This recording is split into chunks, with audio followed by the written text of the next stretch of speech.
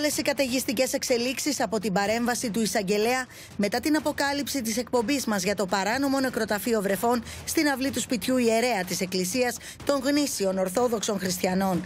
Νέες μαρτυρίες για τα φες κάτω από συνθήκες που σοκάρουν. Αυτοψία των γονιών που έχουν θάψει τα παιδιά τους και πλέον αναζητούν τους τάφους τους συνοδεία αστυνομικών. Απευθεία σύνδεση. Στο πλατό της εκπομπής η γονείς της Γιανούλα, της 36χρονη νηπιαγωγού που όπως καταγγέλουν έσβησε από τα γιατροσόφια του ψευτογιατρού. Λίγο πριν καταθέσουν στη δίκη, έρχονται κοντά μας και περιγράφουν με συγκλονιστικές λεπτομέρειες πώς χάθηκε η κόρη τους από τις πανάκριβες ενέσεις του Βατικανού, τα υποτιθέμενα έλεα του Αγίου Όρους και την ιστία που την έκανε να φτάσει να ζυγίζει 30 κιλά. Τη ζητούν οι τραγικοί γονείς που έμειναν πίσω να μεγαλώνουν τα δυο της παιδιά μας κάνει νύχτα Μια νύχτα μόνο τι να μας κάνει Αγαπημένοι φίλοι και συνεργάτες μιλούν στην εκπομπή και αποχαιρετούν τη Χριστιανά που έφυγε από τη ζωή σε ηλικία 68 ετών.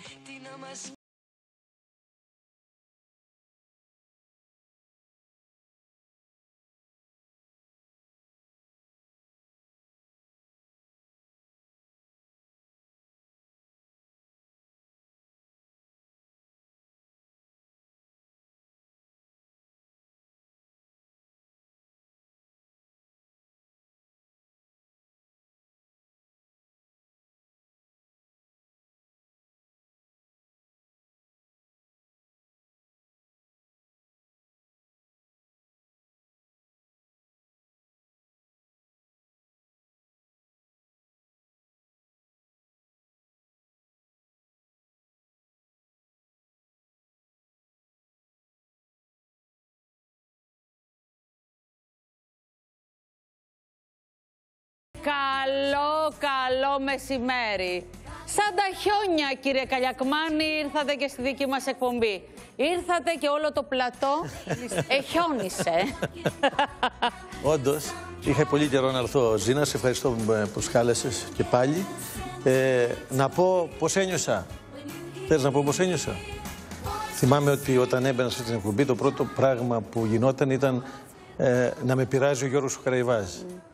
Ε, μόλις μπήκα εδώ μέσα λοιπόν, ένιωσα αυτό το συνέστημα αρχικά. Ε, πιστεύω ότι θα βρεθούν οι δολοφόνοι του, πρέπει να βρεθούν οι δολοφόνοι του. Είναι ένα στίχημα για την αστυνομία. Ε, αυτό το ζητάει και η οικογένειά του και όλος ο κόσμος. Είδες και μια ανάρτηση που έκανε ο γιος του τελευταία που την ανέβασα κι εγώ στα social media. Ε, κοιτάξτε να δείτε, πολλές φορές λέμε ότι να σκοτώσει έναν άνθρωπο είναι ότι χειρότερο υπάρχει άλοθη. Ε, λες σκότωσε κάποιος γιατί από παρόρμηση, από ζήλια, από συναισθήματα. Αυτοί οι άνθρωποι που σκοτώνουν γιατί πληρώνονται δεν έχουν κανένα συνέστημα. Και αυτοί θα πρέπει να μπαίνουν στη φυλακή, να τους βρίσκει η αστυνομία, να συλλαμβάνονται, να μπαίνουν στη φυλακή και να μην βγαίνουν ποτέ. Γιατί είναι πολύ σημαντικό αυτό που λέω Ζήνα. Χωρίς συνέστημα για να πάρουν χρήματα και μιλάω για τους πληρωμένους δολοφόνους. Στίχημα για την αστυνομία λοιπόν να βρει τους δολοφόνους του Γιώργου του Κραϊβάζ, του φίλου μας του Γιώργου. Το θέμα είναι κύριε Καλιακμάνη τι απόδοση δίνει αυτό το στίχημα γιατί μέχρι τώρα δεν έχουμε κάποιο νεότερο σε ό,τι αφορά τις έρευνες, έτσι. Ε, η αστυνομία λειτουργεί συνεχώς. Δεν σταματάει ποτέ να δουλεύει. Δεν υπάρχει χρονικό όριο για να βρεις ένα δολοφόνο ή για να εξεχνιάσει ένα έγκλημα. Το ζήτημα είναι να το εξεχνιάσει και να βρεις τον δολοφόνο. Μακάρι. Ο Γιώργος λοιπόν το Σάββατο είχε τα γενέθλιά του για όλους, για τη γυναίκα του, για το παιδί του, ήταν πάντα εδώ. Εγώ είχα πει στον Νίκο Τριφωνόπουλο να έχουμε το τραγούδι αυτό το εζεϊμπέκικο του Γιώργου μας. Έτσι είναι και στις γιορτές και στις χαρές και στα δύσκολα και στα εύκολα οι άνθρωποι μας θα μας λείπουν. Γιατί για μας ο Γιώργος είναι ο άνθρωπός μας. Λοιπόν, Πέτρο, Δημήτρη, Ρούλα και Άρια, είστε και σήμερα στην παρέα μας με θέματα δύσκολα, αλλά και συνάμα θέματα ανθρώπινα. Γιατί έτσι είναι η κοινωνία μας. Ο Στέργιος είναι εδώ. Είναι ο μοναδικός ο Στέργιος που έχει και το δικό του δεντράκι πίσω. Ακόμη και εγώ έχω το τζάκι και τα υπόλοιπα. Ο Στέργιος έχει το δικό του γραφείο. Μάλλον κάτι έχει σαν μέσον για να τα έχει όλα αυτά και να είναι δικά του. Εγώ δεν θέλω να πάω στο τζάκι όμως. Στην Θες Πολυθρόνα να πας στο και την τζάκι πράσινη. μέσα να σε βάλω ή απ' έξω; Και μέσα και απ' έξω να ψήσω μπάρμπι. Γιατί προς το μέσα μπορείς, έξω. Πολυθρόνα έχει κλειστεί από μένα. Όλοι εκεί θέλουν να πάνε. Προλάβεις. Σε εκείνη την καρέκλα του παππού και της γιαγιάς θα κάτσει ο Καλιακμάνης. Θα κάνω τον Πάμε παππού την δηλαδή. της γιαγιάς στην παραχώρηση. Ορίστε. Τον παππού θα κάνω. Τον Άι Βασίλη θα κάνετε. Θα τον κάνω και τον Βασίλη. Εγώ Προσεχώς. έτσι αλλιώς Γιατί η αγαπάω τα ελληνική παιδιά. αστυνομία είναι πάντα κοντά στα παιδιά. Αγαπάω πάντα. τα παιδιά Έτσι. και μακάρι να, Πέρα από το να χιούμορ δίνω που δώρα κάνουμε. στα παιδιά. Σας πειράζω πάντα, Το ξέρω. κύριε Καλιακμάνη μου. Λοιπόν, ε, τώρα να πω ότι την Κυριακή μαζί με την Ευγενία Πουλοπούλου πήγαμε στα παιδικά χωριά ΣΟΣ. Ε, και στολίσαμε το δεντράκι έξω από κάμερες, έξω από όλα. Η Ευγενίτσα κατέγραψε εκεί πέρα όταν πήγαμε μέσα που στολίζαμε. Πήγαμε σε ένα από τα σπίτια που φιλοξενούν α, παιδιά. Μας περίμεναν εκεί σαν να ήμασταν οικογένεια. Εγώ πήγα με την κόρη μου, η Ευγενία με τον α, δικό της α, ιό. Ε, Έχουμε βγάλει και μια αναμνηστική φωτογραφία. Ξέρεις πόσο όμορφο είναι αυτό να βλέπεις την πορεία ότι μεγαλώνει η εκπομπή, μεγαλώνουν και τα παιδιά μας μαζί. Α, και νομίζω ότι αυτό είναι το σημαντικό γιατί Νάτα, Νάτα τα παιδιά μας τα δύο. Η αίμα. Ναι, Α, και ο Ιάννης. αγάπη μου.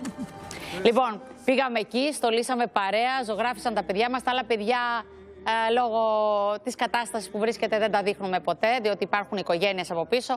Όμως ε, καλύψαμε τα προσωπάκια τους. Ε, Γιώργο, μπορούμε να τη δείξουμε αυτή τη φωτογραφία που έκρυψες. Έχουμε κρυμμένα τα προσωπάκια των παιδιών. Εδώ είναι τα παιδιά γύρω-γύρω από το δέντρο που το στολίσαμε όλοι μαζί α, παρέα. Και αυτό για μένα είναι το σημαντικό. Τώρα, ε, να πω και ένα χρόνια πολλά ε, στη δική μας τη Γογό την Κιούση που έχει τα γενέθλιά της ε, σήμερα. Ε, η Γογό είναι ο συνοδοιπόρος μου πολλά χρόνια. Είναι Γογό, Στέλλα, Έλλη και Ρούλα. Είμαστε τα τέσσερα κορίτσια που είμαστε πολλά χρόνια μαζί. Η Γογό είναι στο τηλεφωνικό κέντρο που σας υποδέχεται κάθε φορά και σας λέει εμπρός στη Ζήνα παρακαλώ και τα λέει όλα. Λοιπόν, Γογούλα, να σε χαιρόμαστε. Πέρασες και εσύ πολύ δύσκολη χρονιά. Έχασες και το σύζυγό σου και τη μητέρα σου, αλλά η ζωή δυστυχώς για όλους συνεχίζεται και ως μια παρέα συνεχίζουμε κι εμείς εδώ. Πάμε λοιπόν τώρα στο θέμα του α, νεκροταφείου, γιατί έχει γίνει χαμός. Όπου κι αν πήγα, με ρωτούσαν Ζήνα τι είναι αυτό, μην το αφήσεις, ψάξ το πιο πίσω. Μα λέω δεν υπάρχει περίπτωση να το αφήσουμε με την α, Ρούλα, με τον Γιώργο Σόμπολο, με τον Πέτρο Κουσουλό που έβγαλε το θέμα και στην α, ΜΠΑΜ με νέα στοιχεία. Έχει όλα τα στοιχεία της εισαγγελικής παρέμβασης. Εδώ πήγε η οικογένεια που θα μας δώσει το ρεπορτάζ σε λίγο η Ρούλα Άρια Καλύβα για να βρει τον τάφο του παιδιού, να δούμε τι βρήκε τελικά. Βρήκε τον τάφο του παιδιού. Εδώ θα τα πούμε όλα σε πολύ λίγο. Ο Γιώργος Σόμπολος βρίσκεται στο σημείο.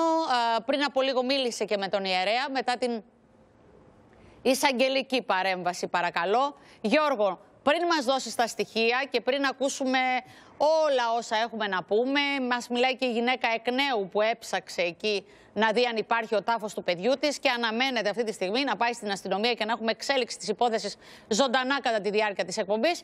Να δούμε το σχετικό ρεπορτάζ όπως το έχει επιμεληθεί η Ρούλα Κουσκουρή και η Μαρία Μανουσαρίδου και μετά αμέσως θα είμαστε εδώ. Σοκ έχει προκαλέσει η αποκάλυψη της εκπομπής μας για την ύπαρξη παράνομου κημητηρίου σε ιδιωτικό χώρο στα καλύβια Αττικής.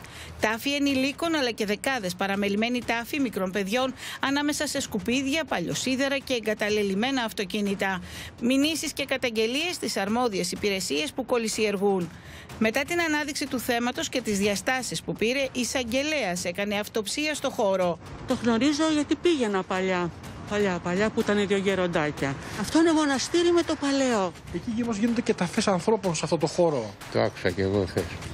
Το νοικοταφείο της περιοχής των νόμιμων είναι εδώ στην πλατεία. Εδώ στην πλατεία, Σωστά. ναι. Δεν υπάρχει άλλο νοικοταφείο στην περιοχή. Όχι. Από προηγούμενα χρόνια είχα ακούσει εκεί πέρα για, το, για έναν εκεί λειτουργό. Τώρα, τώρα δεν άκουσα. Εσείς θυμώ. ξέρατε ότι εκεί πέρα γίνονται ταφές ανθρώπων σε εκείνο το χώρο; Σε εκείνο το χώρο δεν είχα ακούσει για ταφές. Αλλά ήταν έτσι ένας κάπως περίεργος παπάς. Αυτό το άκουσα χθες από το ρεπορτάζ το δικό σας και στο ίντερνετ που έψαχνα και το είδα ενημερώθηκα. Απλώς ξέρουμε την παρουσία, την ύπαρξή του σαν μοναστήρι, σαν μονή παλαιομερολογήτη, σαν μετόχη, κάπως έτσι. Είναι πολλά χρόνια εδώ πέρα στην περιοχή, έτσι. Πάρα πολλά χρόνια, πάνω από 30 χρόνια. μπορεί και 40.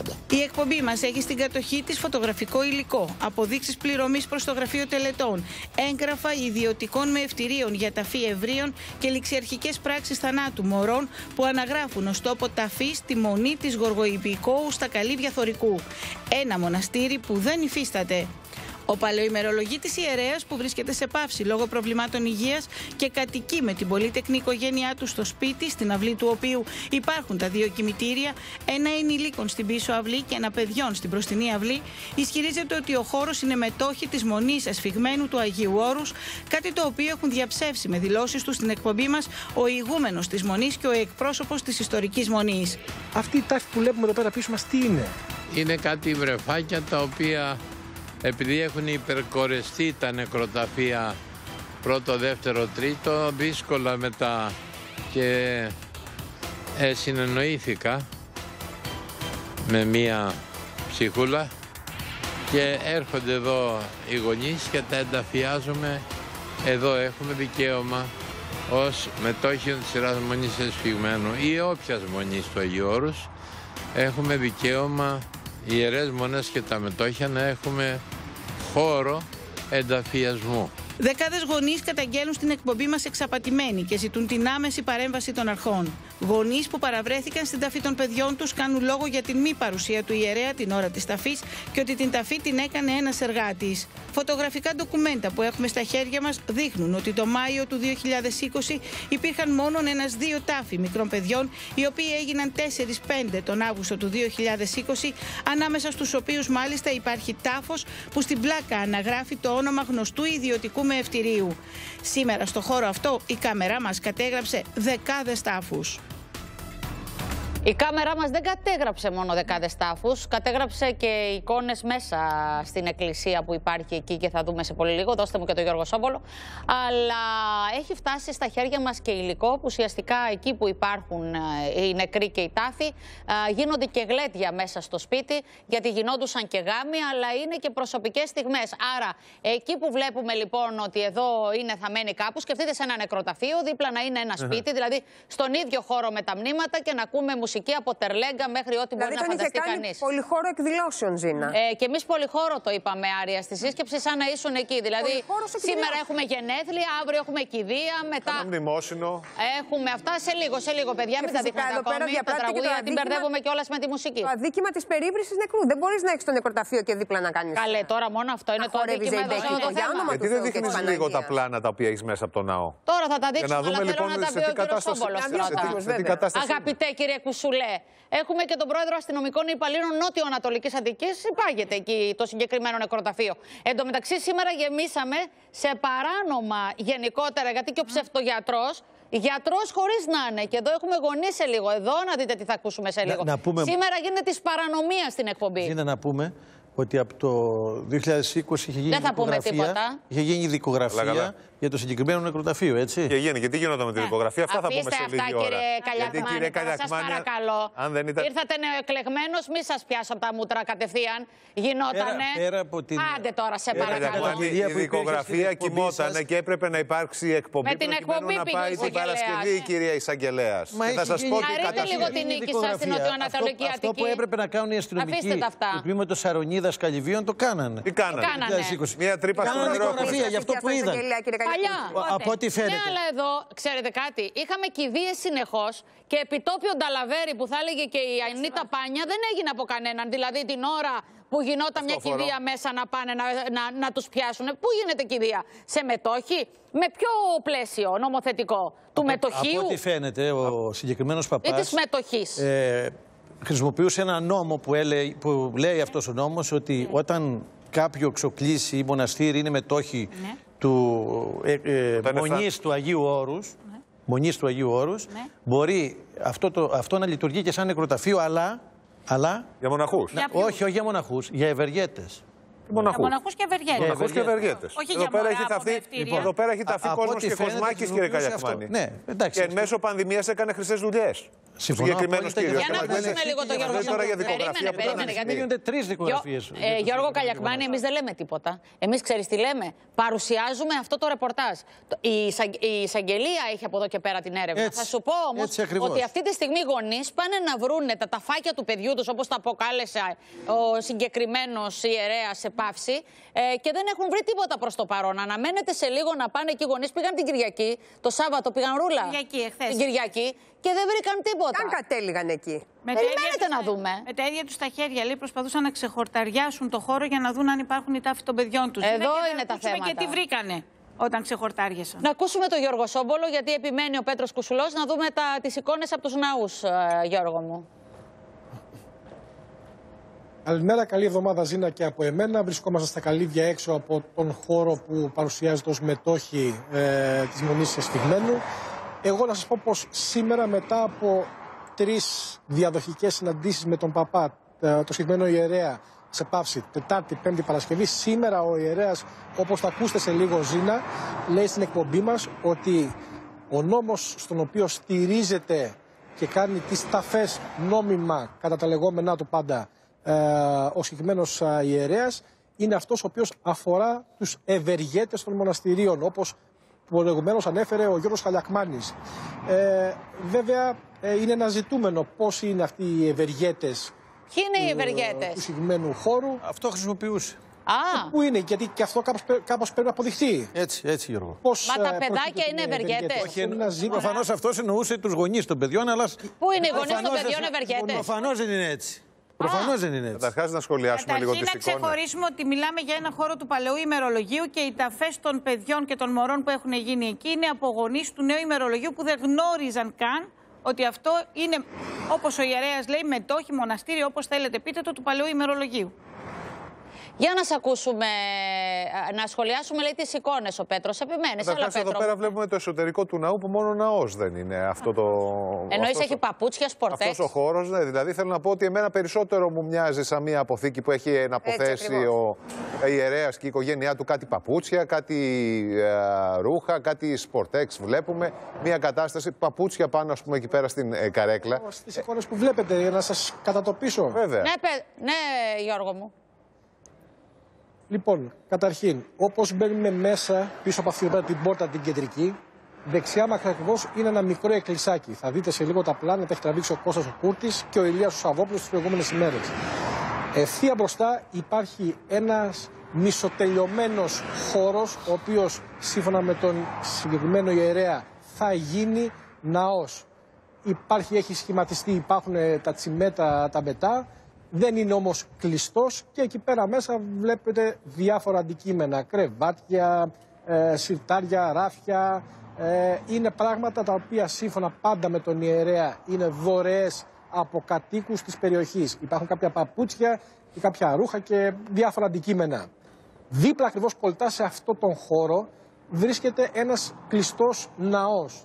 Εκεί πέρα μπήκαμε μέσα την Πέμπτη, έχουμε ε, δείξει ήδη τα πλάνα από τον Ιερό Ναό και στο πίσω μέρος, φαντάζομαι ότι σε αυτόν τον χώρο αναφέρεστε εσείς, είναι ο χώρος όπου κοιμάται ο συγκεκριμένος ιερέας, η παπαδιά και κάποια από τα παιδιά της οικογένειας. Θυμίζουμε ότι έχει 13 παιδιά συνολικά. Κάποια από αυτά έχουν φύγει από τον χώρο που βρισκόμαστε εδώ αυτή τη στιγμή και μένουν στα δικά τους τα σπίτια. Κάποια άλλα όμως είναι μέσα. Όπως και τώρα αυτή τη στιγμή που μιλάμε, είναι μέσα στο, στο χώρο εκεί. Εκεί λοιπόν σε εκείνο το χώρο που είναι τα δωμάτια, το μπάνιο, η κουζίνα, ε, το σπίτι, ας το πούμε με, με απλά ελληνικά για να καταλάβει ο κόσμος. Εκεί πέρα υπάρχουν πάρα πολλές σακούλες. Εγώ μέτρησα τουλάχιστον 10-11 σακούλες μεγάλες με ρούχα, παπούτσια, ε, ηλεκτρικές Αυτά μπορεί να συσκευές, είναι για να το ό,τι δώσει σε μπορεί να φτωχό φανταστείτε. κόσμο. Είναι, για, είναι από δωρεές Έτσι. ανθρώπων για να τα δώσει ο πάτερ, ο άνθρωπος Σωστό. αυτός, σε φτωχές οικογένειες. Συγγνώμη, Σωστό. Γιώργο, Όμως, μου, αλλά τα πλάνα βλέπεις, που βλέπουμε εδώ στην τηλεόραση, αυτή τη στιγμή στις οθόνες μας, που είναι τα σκουπίδια, που είναι Τα η παπούτσια. αποθήκη. Δεν μιλώ μόνο για τα παπούτσια. Εδώ μιλάμε για ακαθαρσίες, μιλάμε για παλιοξύλα, για ό,τι μπορείς να φανταστείς. Είναι εικόνες που έβλεπαν και οι γονείς όταν πήγαν Γιώργο και είπαν ότι να μπούμε στο εκκλησάκι να ανάψουμε ένα κεράκι στη μνήμη του παιδιού που χάσαμε και έπεφταν από τα σύννεφα, όπως μας είπαν στην εκπομπή. Ζήνα, βλέποντας αυτό το χώρο και λέγαν Είναι ιερέας αυτός. Δεν σέβεται καν τις εικόνες που υπάρχουν μέσα στον ιερό χώρο αυτόν και το έχει κάνει κάνει έτσι όπως το έχει καταντήσει αυτό το εκκλησάκι. Είναι ντροπή αυτό το πράγμα. Αυτό λένε όλοι οι γονείς. Κατά τα άλλα, ευεργέτες, έτσι, σύμφωνα με τον ιερέα. Ποιο είναι ευεργέτης; Έτσι δεν λέει ο ίδιος, ότι είναι ευεργέτες όλοι αυτοί και γι' αυτό τον λόγο έχω προκαλέ. Βέβαια. Νόμιζα... Υπάρχει και ζήτημα καθαριότητας, όπως βλέπουμε. Ο χώρος είναι ακάθαρτος. Ρούλα, επειδή όλο το Σαββατοκύριακο είχες και βάρδια και δούλεψες πολύ πάνω σε αυτό το ε, ρεπορτάζ που αναδείξαμε από την πρώτη στιγμή, θέλω να μου πεις πώς ξεκίνησε όλη αυτή τη διαδικασία. Γιατί σε πήραν πολλές μανούλες που θέλουν να πάνε στο χώρο να βρούνε πού είναι τελικά το βρέφος. Ζήνα, άκουσε να δεις. Όταν, που έθαψαν. Όταν κάποιοι γονείς και ειδικά οι μανούλες και οι πατεράδες όμως χάνουν ένα μωρό που έχει γεννηθεί και φεύγει λίγες μέρες μετά από τη ζωή, αντιλαμβάνεσαι ότι άλλοι έχουν το ψυχικό σθένος να παρευρεθούν στην ταφή του μωρού τους και κάποιοι άλλοι, κάποιες άλλες μανούλες ως λεχόνε κιόλα δεν μπορούν καν να παρευρεθούν στο χώρο. Επικοινώνησαν λοιπόν αρκετές από αυτές τις μανούλες που μας είπαν ότι εμείς ξέραμε ότι εκεί βρίσκεται το παιδί μας, έχει ταφεί με όλα, με όλα όσα έπρεπε να γίνουν για το μωράκι μας. Ε, τελευταία μίλησα με μία μητέρα η οποία τον Μάιο έχασε το μωράκι της. Μιλάμε για λίγους μήνες πριν δηλαδή από τώρα, Ζήνα. Και πίστευε ότι εκεί υπάρχει ένας τάφος και διαβάζεται το παιδί της από έναν ιερέα.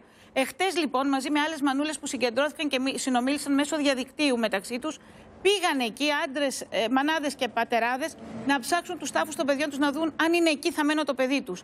Μωρό λοιπόν που έπρεπε να έχει κυδευτεί τον Μάιο στο συγκεκριμένο σημείο, δεν βρέθηκε πουθενά ο τάφος του. Η ίδια η Μανούλα θα την ακούσει στη συνέχεια που μας μιλάει η Ζήνα. Με τα ίδια της τα χέρια λέει, ξέθαβα για να δω που είναι το, το παιδί μου. Και που βρίσκεται το παιδί μου. Βερούλα; Ε, ε, τώρα θα τις λάβει. Έχουμε εξελίξεις. Θα, τα πούμε όλα μετά τις διαφημίσεις. Διότι αυτή η γυναίκα μιλάει στη Ρούλα Κουσκουρή, θα την ακούσουμε σε πολύ λίγο. Και αναμένονται και εξελίξεις, κύριε Καλιακμάνη, με παρέμβαση της αστυνομίας. Εδώ τώρα είναι το θέμα. Γιατί αυτή η μητέρα τώρα, μαζί με δικηγόρο που πια έχει βάλει, γιατί εδώ είναι τα θέματα, ζητά να της πούν που είναι το παιδί της. Εγώ πιστεύω ότι η αστυνομία έχει κάνει αυτό που έπρεπε. Τώρα η Δεν λέμε όχι, είναι αυτό είναι καινούριο τώρα. Τώρα ξεκινάμε. Α, ναι, εντάξει. Αυτό είναι τώρα. Τώρα πήγε μετά από όλη αυτή την έρευνα. Το ζήτημα είναι. Αυτός ο άνθρωπος εκεί. Πήγε στο γραφείο τελετών. Περιμένετε. Το ζήτημα είναι ότι αυτός ο άνθρωπος είχε άδεια ταφή. Έπαιρνε άδεια για την ταφή. θα σας πω σε λίγο τι, έχουν, τι κατέσχεσαν την Παρασκευή, τι έχουν κατασχέσει. Υπάρχει και διαδρομή του χρήματος, βέβαια, να το ε, πούμε και αυτό. Ποιο έπαιρνε τα χρήματα. Όχι, όχι, υπάρχει κάτι άλλο το οποίο ερευνάτε, το οποίο είναι πολύ πιο σημαντικό, επιτρέψτε μου να σας πω. Πάρα πολύ σημαντικό. Μετά τις διαφημίσεις, Πέτρο μου, θα μας τα πεις ναι. όλα. Παρακαλώ. Πάμε διαφημίσεις και ερχόμαστε.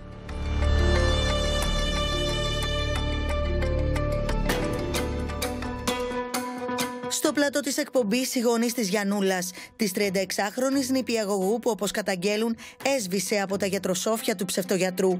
Λίγο πριν καταθέσουν στη δίκη, έρχονται κοντά μας και περιγράφουν με συγκλονιστικές λεπτομέρειες πώς χάθηκε η κόρη τους από τις πανάκριβες ενέσεις του Βατικανού, τα υποτιθέμενα έλεα του Αγίου Όρους και την ιστία που την έκανε να φτάσει να ζυγίζει 30 κιλά. Τη ζητούν οι τραγικοί γονείς που έμειναν πίσω να μεγαλώνουν τα δυο της παιδιά. Yeah.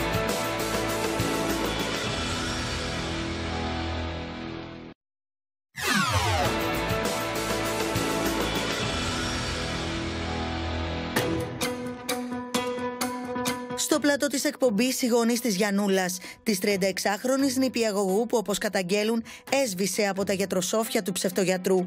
Λίγο πριν καταθέσουν στη δίκη, έρχονται κοντά μας και περιγράφουν με συγκλονιστικές λεπτομέρειες πώς χάθηκε η κόρη τους από τις πανάκριβες ενέσεις του Βατικανού, τα υποτιθέμενα έλεα του Αγίου Όρους και την ιστία που την έκανε να φτάσει να ζυγίζει 30 κιλά.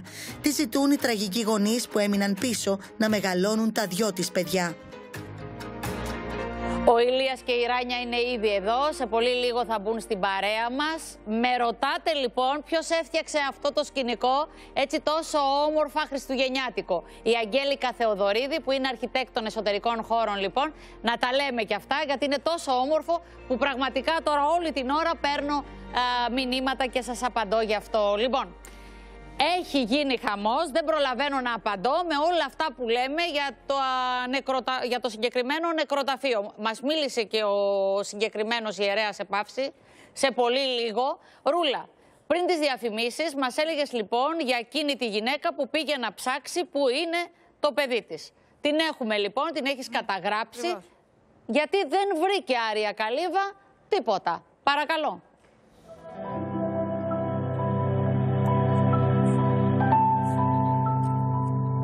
Επισκεφθήκατε χθες στο χώρο του κημητηρίου προς αναζήτηση του τάφου του παιδιού σας. Τι ακριβώς αντικρίσατε και τι συνέβη εκεί; Εγώ προσωπικά μαζί είχαμε πάει τρία ζευγάρια που βρεθήκαμε μέσω των social media ή facebook και βρεθήκαμε. Δεν βρήκαμε τον τάφο του παιδιού μας. Εγώ προσωπικά βρήκα την πλάκα με το όνομά μας πάνω σε μια κούτα μέσα στο εκκλησάκι μαζί με άλλες τέσσερις πλάκες. Υπήρχαν ε, τάφοι ε, παντού διάσπαρτοι, σκάβαμε τα χόρτα για να τους βρούμε με χαρτάκια απλά χαρτάκια, μέχρι και χαρτάκια από τυρόπιτα που έγραφε πάνω ονόματα. Σε κανένα δεν βρήκαμε το δικό μας και υπήρχαν βέβαια και κάποια μάρμαρα πεταμένα πάνω στα μωρά, τα οποία δεν είχαν, τα οποία δεν είχαν καν χαρτάκι. Πήρα την κυρία αυτή η οποία έχει αναλάβει όλο αυτό το θέμα από τότε, η οποία με πάρα πολύ ηρεμία μας μίλαγε και μάλιστα μου ζήτησε και το λόγο που της φώναζα και της είπα ότι τα παιδιά μας δεν είναι τυρόπιτες και ζαμπονοτυρόπιτες για να τα πετάνε έτσι με χαρτάκια. Και μου είπε ότι σήμερα θα πάει για να βάλει τα ονόματα, τα ονόματα, όχι τα μνήματα ακόμα. Όλες αυτές τις μέρες μου έβρισκε δικαιολογίες να μου λέει για τον λόγο που δεν θα βρω το μνήμα του παιδιού εκεί. Τα, τα μνήματα ήταν σε άθλια κατάσταση τα περισσότερα, τα πιο καινούρια από ό,τι καταλάβαμε και μας είπαν εκεί και ο ίδιος ο παπάς και ο γιος του και ο εγγονός του, οι οποίοι μπορώ να πω ότι μας μίλησαν και μας αφήσανε όση ώρα θέλαμε να μείνουμε εκεί για να δούμε τι συμβαίνει. Μαζί με κάποιους άλλους γονείς κάναμε με τα χέρια μας τα χώματα για να μην πατήσουμε πάνω στα ταφάκια, προσπαθώντας να βρούμε τα παιδιά μας, τα οποία δεν τα βρήκαμε. Το δικό σας παιδί πότε ε, θεωρητικά είχε ταφεί σε αυτό το νεκροταφείο; 21 Μαΐου. Θα κινηθούμε νομικά. Από στιγμή σε στιγμή θα επικοινωνήσουμε και με τον δικηγόρο. Είμαστε αρκετοί γονείς μαζεμένοι, οι οποίοι θα το κυνηγήσουμε όλους όσους ευθύνονται για όλη αυτή την κατάσταση που εμάς αυτή τη στιγμή μας καταπονεί ψυχολογικά και δεν ξέρουμε τι να κάνουμε και τι να σκεφτούμε και το αν τα παιδιά μας είναι εκεί. Ο ιερέας σας είπε κάτι σε σχέση με την ταφή των παιδιών σας, εφόσον ήταν εκεί, τον ρωτήσατε τι ακριβώς συμβαίνει εκεί, αν είναι νόμιμο, ναι, παράνομο. μίλησε με τον σύζυγό μου κατά τη διάρκεια που εγώ έψαχνα. Στο σύζυγό μου είπε ότι ερχόντουσαν 8.30 ώρα το πρωί ένας κύριος, μας είπε το όνομα, ο οποίος ε, πέταγε τα μωρά στους τάφους και έφευγε. Και όταν ε, ο ίδιος ο πάντερ του είπε ότι ξέρετε κάτι, δεν μπορείτε να το κάνετε αυτό, έρχονται οι γονείς εδώ πέρα, βλέπουν τα παιδιά, δεν είναι κατάσταση αυτή. Φωνάζουν, είπε θα έρθουμε, θα έρθουμε. Δεν πήγανε ποτέ. Εγώ έχω φωτογραφίες στα χέρια μου που φωτογραφίσαμε εχθές, αλλά υπάρχουν και φωτογραφίες που μου έχουν στείλει άλλοι γονείς από πέρυσι, το πριν κάνα χρόνο, το πώς ήταν και το πώς έχει κατατήσει. Όλοι οι γονείς έχουν να προσάψουν κάτι για συγκεκριμένα άτομα. Πολλοί γονείς το κάνανε μόνοι τους, αλλά από ό,τι έχουμε καταλάβει, πατήσανε σε εμάς τους γονείς οι οποίοι δεν μπορέσαμε να παραστήσουμε εκεί. Και είναι και άλλοι που μένουν μακριά και μας εκμεταλλευτήκαν έτσι.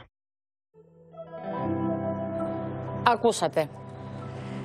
Λοιπόν, ε, δείξτε μου λίγο και τα ντοκουμέντα που έφτασαν στα χέρια μας, δεν θα πούμε πώς, αλλά με γλέντια μέσα στο σπίτι, που είναι μετόχοι, που είναι του Αγίου Όρους, που είναι και η εκκλησία, που είναι αυτά. Δώστε το λίγο δυνατά να ακούσουμε.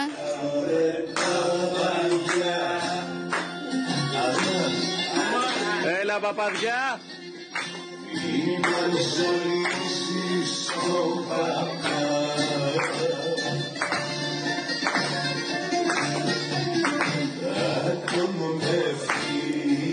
Και πολλά άλλα γλέντια έχουμε. Έχουμε και ε, στο πλάνο είναι και ο ιερέας που είναι εκεί στην καρέκλα και απολαμβάνει. κανονικά Ζήνα. Ε, γλέντι στο σπίτι. Επειδή είπες πολυχώρος πριν, πάμε να μου πεις, Πέτρο μου, ε, σε παρακαλώ πάρα πολύ, πού είναι η εισαγγελία αυτή τη στιγμή; Καταρχάς, να πούμε το τι ακριβώς συνέβη την Παρασκευή. Ο Δημήτρης δεν τον έχω ξαναδεί τόσο λυπημένο, περίληπο έτσι. Δεν ξέρει τι να πει. Είμαι συγκλονισμένος, δεν είμαι περίληπο. Ε, έχει εξαντληθεί και η υπομονή μου με όλα αυτά. Γιατί πέντε μέρες τώρα που έχουμε αναδείξει το θέμα, δεν είδα κανένα να ευαισθητοποιείται ιδιαίτερα. Δεν είδα τον κύριο Φιλίππου που ήταν λαλίστατο εδώ στην εκπομπή να έχει στείλει την πολεοδομία, να έχουν κλείσει αυτό το πράγμα εδώ. Εδώ δείχνεται γλέντια δίπλα στου τάφου, δείχνεται μωρά τα οποία ε, ε, ε, θαύτηκαν και έχουν ζαμπονοτυρόπιτε γράψει επάνω τα ονόματά του. Τι είναι αυτά, τι, τι είναι αυτό το πράγμα. Είναι αυτό. αυτό είναι σοβαρή. Και δεν έχει παρέμβει κανεί. Λέει ο κύριο Καλιακμάνη δικαιολογεί την αστυνομία, καλά κάνει. Ο Πέτρο θα μα πει για την εισαγγελία. Όχι, ο του είπε η Ρούλα. Ο Καλιακμάνη του είπε η Ρούλα ότι τότε πήγε συγκεκριμένη, πήγε και έκανε καταγγελία στην αστυνομία. Τι έχει γίνει από τώρα. Πήρε στην αστυνομία, ρώτησε.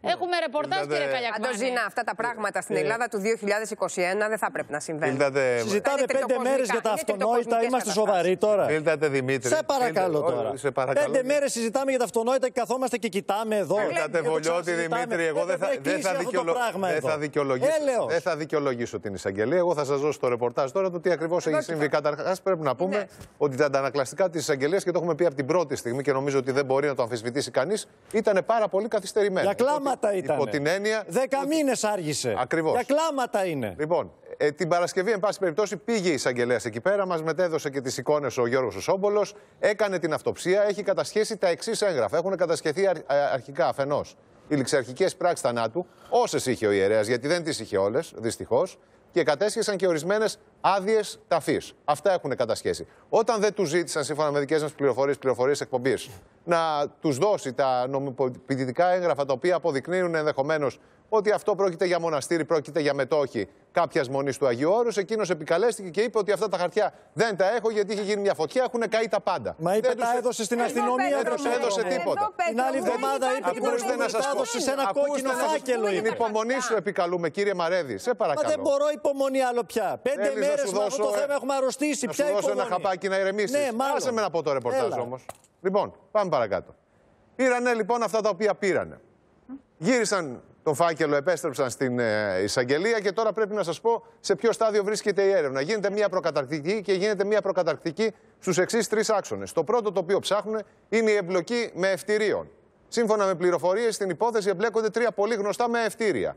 Από τα πλέον γνωστά με ευτήρια, τα οποία φέρεται να εξέδιδαν διάφορα έγγραφα και να οδηγούσαν τους απελπισμένους γονείς σε αυτό το παράνομο νεκροταφείο, στο οποίο γίνονται και τσιμπούσια και γλέντια. Συγγνώμη που σε διακόπτω, Πέτρο. Δι- α, Δύο εκ των οποίων από τα μευτήρια έχω επικοινωνήσει εγώ και περιμένω ακόμη την επίσημη θέση τους. Και είναι προφανές λοιπόν ότι και τα δικά σου τα στοιχεία, γιατί γνωρίζω ρούλα μου ότι έχεις στοιχεία, θα πρέπει να τα αναζητήσει η εισαγγελία και να τα λάβει στα Ε, βέβαια, να χέρια τη της ζητήσουν αρμόδιας τη ρούλα. εισαγγελέας. Έτσι, ένα αυτό. Το δεύτερο, τι άλλο ψάχνουν. Ψάχνουν να δουν τραπεζικούς λογαριασμούς και τον, α, τη ροή του χρήματος. Είναι προφανές ότι εδώ πέρα υπάρχει χρήμα. Έχει διακινηθεί χρήμα. Κάποιοι λέγανε οι εισαγγελείς από αυτή την κερδοφόρα ιστορία, από την κερδοφόρα μπίζνα, έχουν θησαυρίσει ενδεχομένως. Ανοίγουν λοιπόν και θα ανοίξουν με εισαγγελική εντολή ε, οι λογαριασμοί. Και το τρίτο αυτό το οποίο θα ψάξουν είναι μακάβριο. Θα ανοίξουν τους τάφους. Επιτέλους. Θα ανοίξουν τους τάφους να δούμε λοιπόν τι κρύβεται μέσα. Να δούμε τα αλλάζουν, μυστικά. Πέτρο, με Να επίσημο δούμε τα τρόπο. μυστικά αυτού του παράνομου νεκροταφείου. Τώρα. Γιατί είναι τρομακτικό 25 αυτό το οποίο. χρόνια είναι αυτό εκεί. τρομακτικό αυτό το ρεπορτάζ το οποίο μετέφερε η Ρούλο η Κουσκουρή στη δική μας την εκπομπή.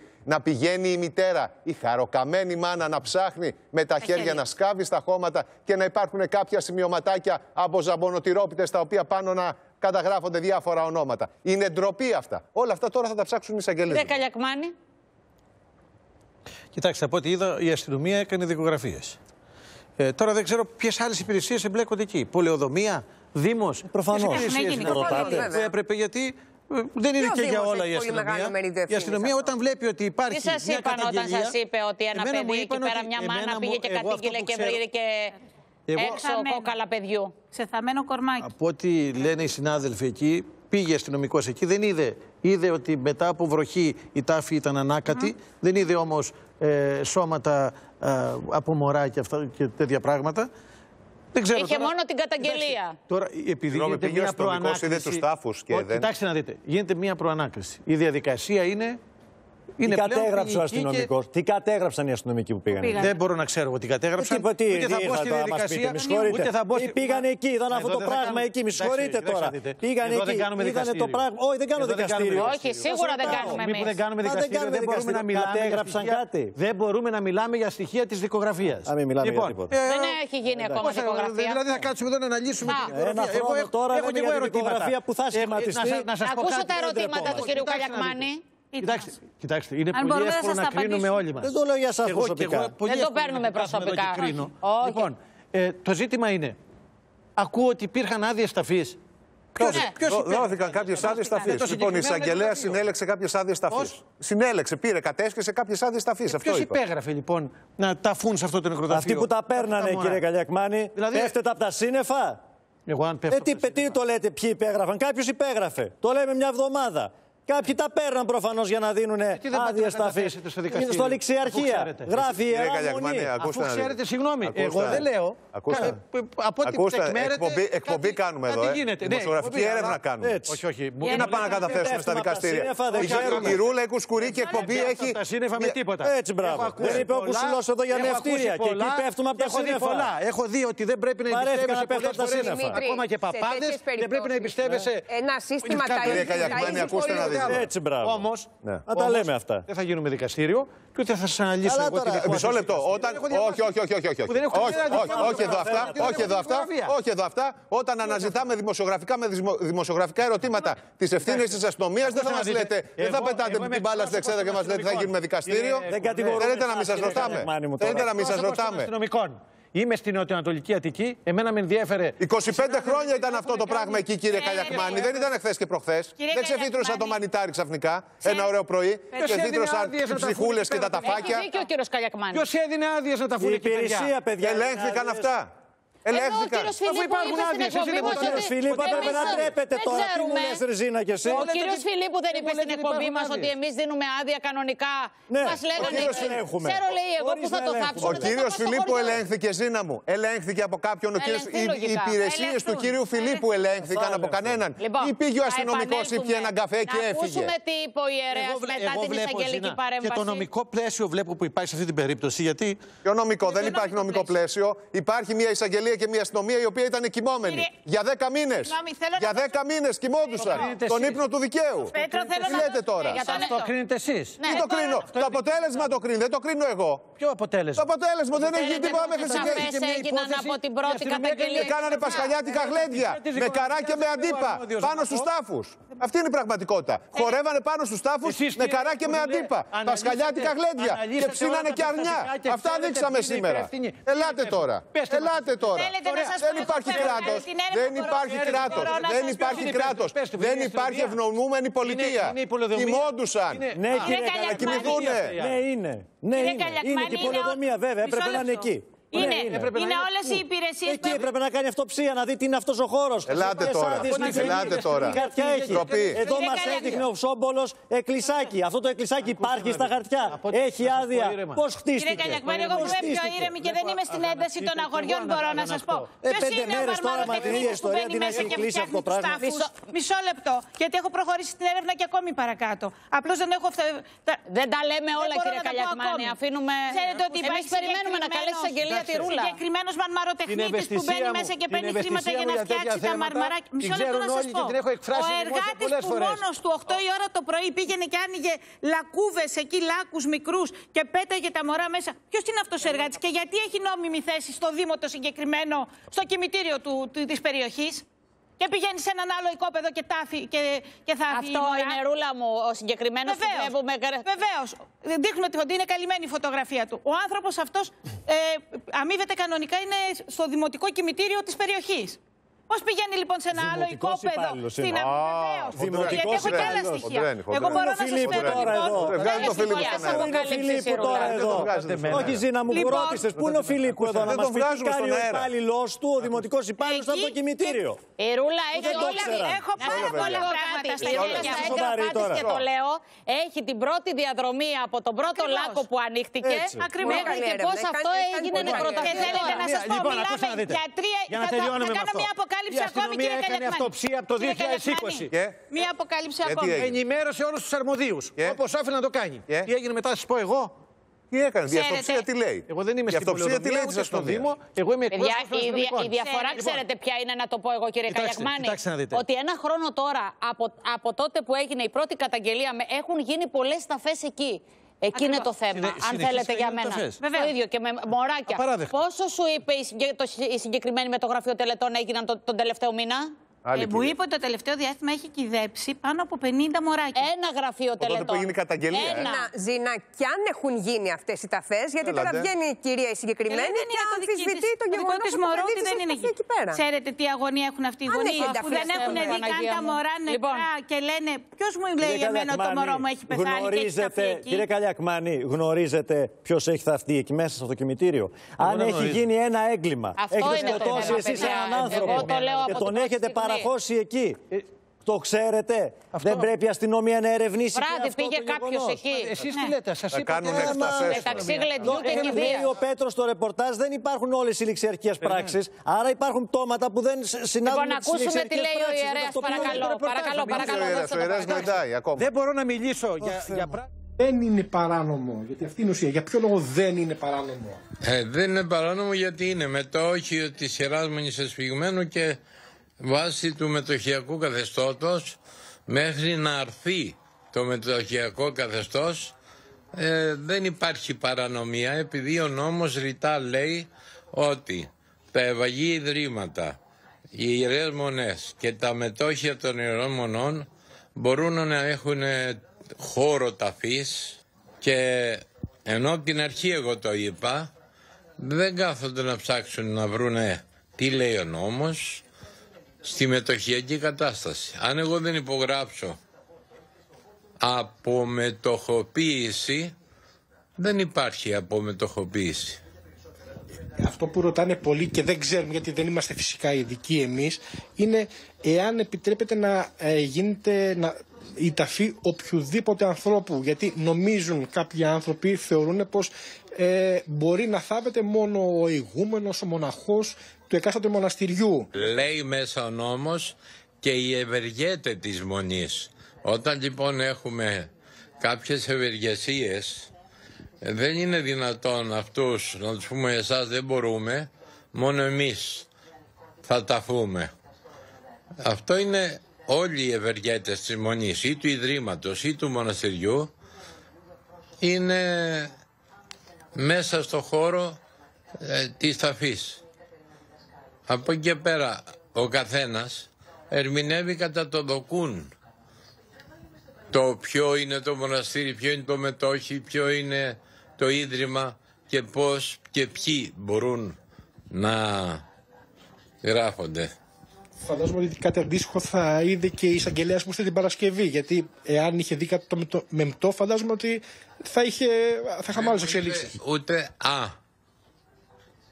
Δεν μου είπε ούτε α. Και ενώ κάποια στιγμή τη θέλησα να τη ρωτήσω για κάποιο πράγμα, είχα μια απορία. Ούτε στην απορία μου απάντησε. Την Παρασκευή ήρθε η εισαγγελέας και, τι- και τι χαρτιά σας ζήτησε εσάς; Τι σας ζήτησε να. Άδειες ταφής. Τις οποίες τις έδωσα όλες στον διοικητή. Και μου έδωσε ένα χαρτί ότι έχει πάρει τόσες άδειες ταφής. Θα επανέλθουμε λοιπόν 2-12-2-12, 73-50 και 51 οι καταγγελίες σας. Από πέρυσι περιμένω αυτή την ε, συνάντηση με τον Ηλία και τη Ράνια. Σας ευχαριστώ πάρα πάρα πολύ, ειλικρινά, που είμαστε σήμερα εδώ. Είχαμε μιλήσει στο τηλέφωνο πέρυσι και είχαμε πει να προχωρήσει η κατάσταση, γιατί εδώ έχουμε αποτρελαθεί όλοι. Ένας ψευτογιατρός, ο οποίος δήλωνε γιατρός, ε, θεράπευε καρκίνους, έμπαινε σε νοσοκομεία, πήγαινε στα φουαγέ και τα έκανε όλα. Χάσατε το κοριτσάκι σας. Μόνο. Μόνο αυτός τώρα δεν μπορεί να γίνει καλά.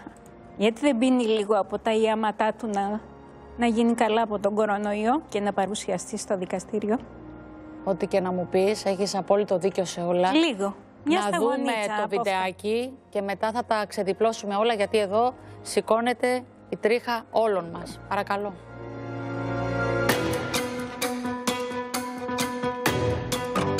Συνεχίζεται αύριο στο μεικτό ορκωτό δικαστήριο Αθηνών η δίκη του 47χρονου ψευτογιατρού, ο οποίος συστηνόταν ως δόκτωρ κόντος σε καρκινοπαθεί και έναντι αδράς αμοιβής τους χορηγούσε βότανα και σκευάσματα δικής του εμπνεύσεως.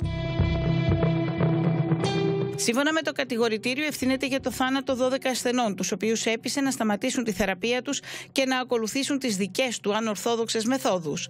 Επιπλέον, κατηγορείται ότι εξαπάτησε ακόμα 14 καρκινοπαθείς, οι οποίοι αρχικά τον εμπιστεύτηκαν, αλλά κατάφεραν την τελευταία στιγμή να ξεφύγουν από τα δίχτυα του. Ένα από τα θύματα του ήταν η 36χρονη μητέρα δύο παιδιών και νηπιαγωγός που είχε καρκίνο στο στήθος. Η Γιανούλα έκανε τη μαστογραφία της τον Νοέμβριο του 2012 και όλα ήταν μια χαρά. Στις 24 Ιανουαρίου του 2013, στα 32 της χρόνια, κάνοντας μπάνιο, ψηλάφισε ένα ογκίδιο στο στήθος της. Κάνοντας τις απαραίτητες εξετάσεις και υπέρηχο στον Άγιο Σάβα, ο χειρουργός ογκολόγος της είπε ότι πρέπει να προχωρήσουν μετά από βιοψία που έγινε σε μαστεκτομή. Στις 4 Φεβρουαρίου του 2013 χειρουργείται και αφαιρεί τον έναν μαστό.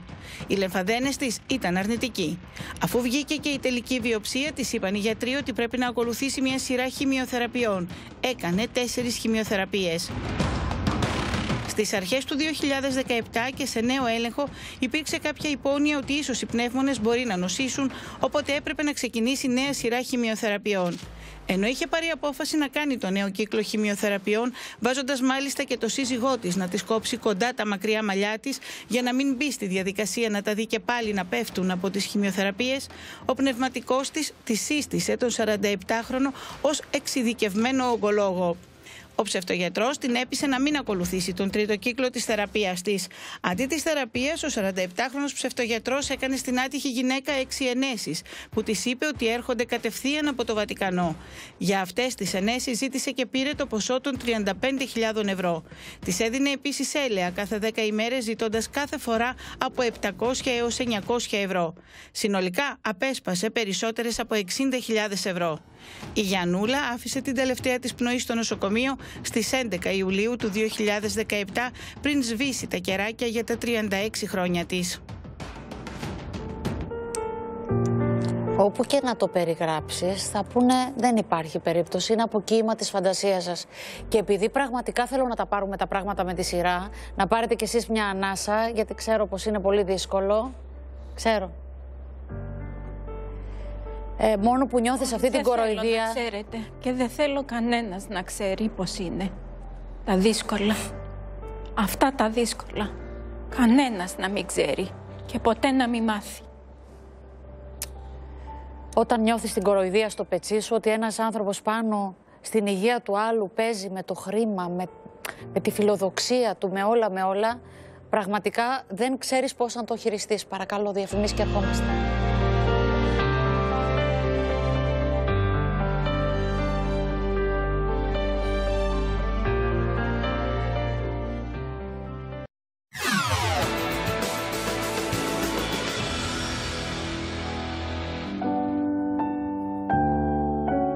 Σε αυτόν τον κόσμο που ολοένα στενεύει, ο καθένας μας χρειάζεται όλους τους άλλους. Πρέπει να αναζητήσουμε τον άνθρωπο, όπου και αν βρίσκεται. Γιώργος Εφέρης. Εδώ είμαστε μετά τις διαφημίσεις 212-212, 73-50 και 51 και είμαστε εδώ με τους ε, γονείς της Γιανούλας που ο ψευτογιατρός την ανάγκασε να μην πάρει τα φάρμακά της, να μην κάνει τις θεραπείες της ε, και έτσι έχασε τη μάχη με τη ζωή και ενώ τα πράγματα ήταν πολύ ευνοϊκά. Ηλία και Ράνια, θέλω να ξεκινήσω από εσάς. Είναι και ο δικηγόρος σας, ο κύριος Σούρλας, που θα συνδεθούμε σε πολύ λίγο. Θέλω όμως να ξεκινήσω από σένα. Να μου πεις πώς αυτός ο ψευτογιατρός μπήκε μέσα στο σπίτι. Γιατί για μένα αυτό είναι το σημαντικό. Πώς μπαίνει ένας άνθρωπος τέτοιος μέσα σε μια οικογένεια σαν τη δική σας; Κυρία Ζήνα μου, η κόρη μου τον είχε γνωρίσει από τον Ιανουάριο του 2017. Χωρίς να ξέρουμε εμείς τίποτε.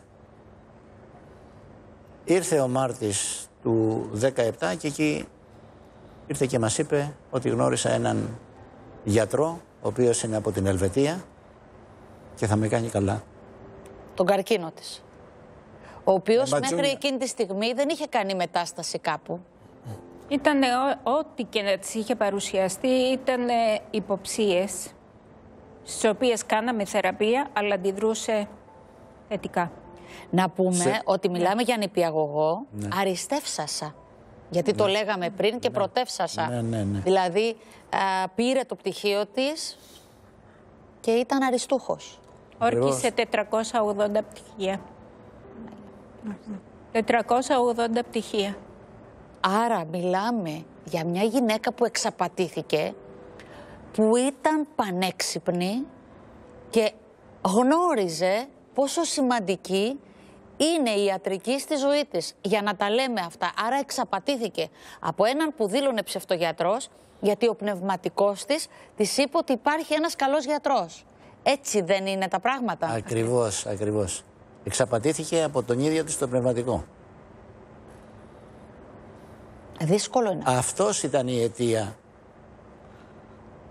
Το ήξερε όμως ο πνευματικός ότι αυτός ήταν ψευτογιατρός; Όχι. Είναι το ζήτημα; Βέβαια, δεν το βέβαια ήξερε. είχε και ειδική Δεν το ήξερε. ικανότητα στην Δεν το απαταιωνιά ο συγκεκριμένος ναι, άνθρωπος. ναι, δεν γιατί το εδώ ήξερε. εξαπατούσε ολόκληρου γιατρού με στα νοσοκομεία που πήγαινε. Κυρία να τα μου, λέμε και αυτά. έλεγε- τα ίδια αυτά που είπε σε εμάς, τα έλεγε σε όλο τον κόσμο. Είχε την κασέτα, την έβαζε και Έτσι έλεγε ακριβώς. τα ίδια ακριβώς. Ακριβώς τα ίδια. Έλεγε στον κάθε ένα αυτό που ήθελε να ακούσει, Ζήνα. Ναι. Θέλω να ακούσω την ε, Ράνια. Ράνια μου είχαμε τη δυνατότητα, έτσι όταν η έρευνα ήταν στην αρχή, να συνομιλήσουμε τηλεφωνικά εδώ στην εκπομπή.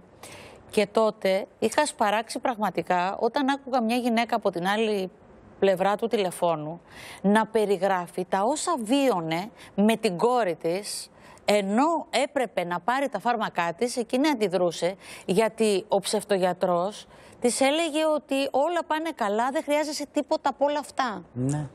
Στο διάστημα της γνωριμίας από τον Ιανουάριο του 2017 μέχρι και που αρχίζει η, η, θεραπεία, ε, η υποτιθέμενη θεραπεία με τον κύριο Κόντο.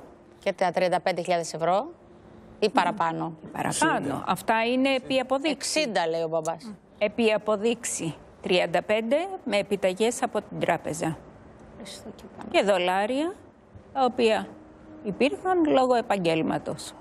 Του μπαμπά, του μπαμπά. ναυτικός ο οποίος και τα λοιπά. έφαγε όλες τις τρικυμίες στη θάλασσα και πνίγηκε στη στεριά.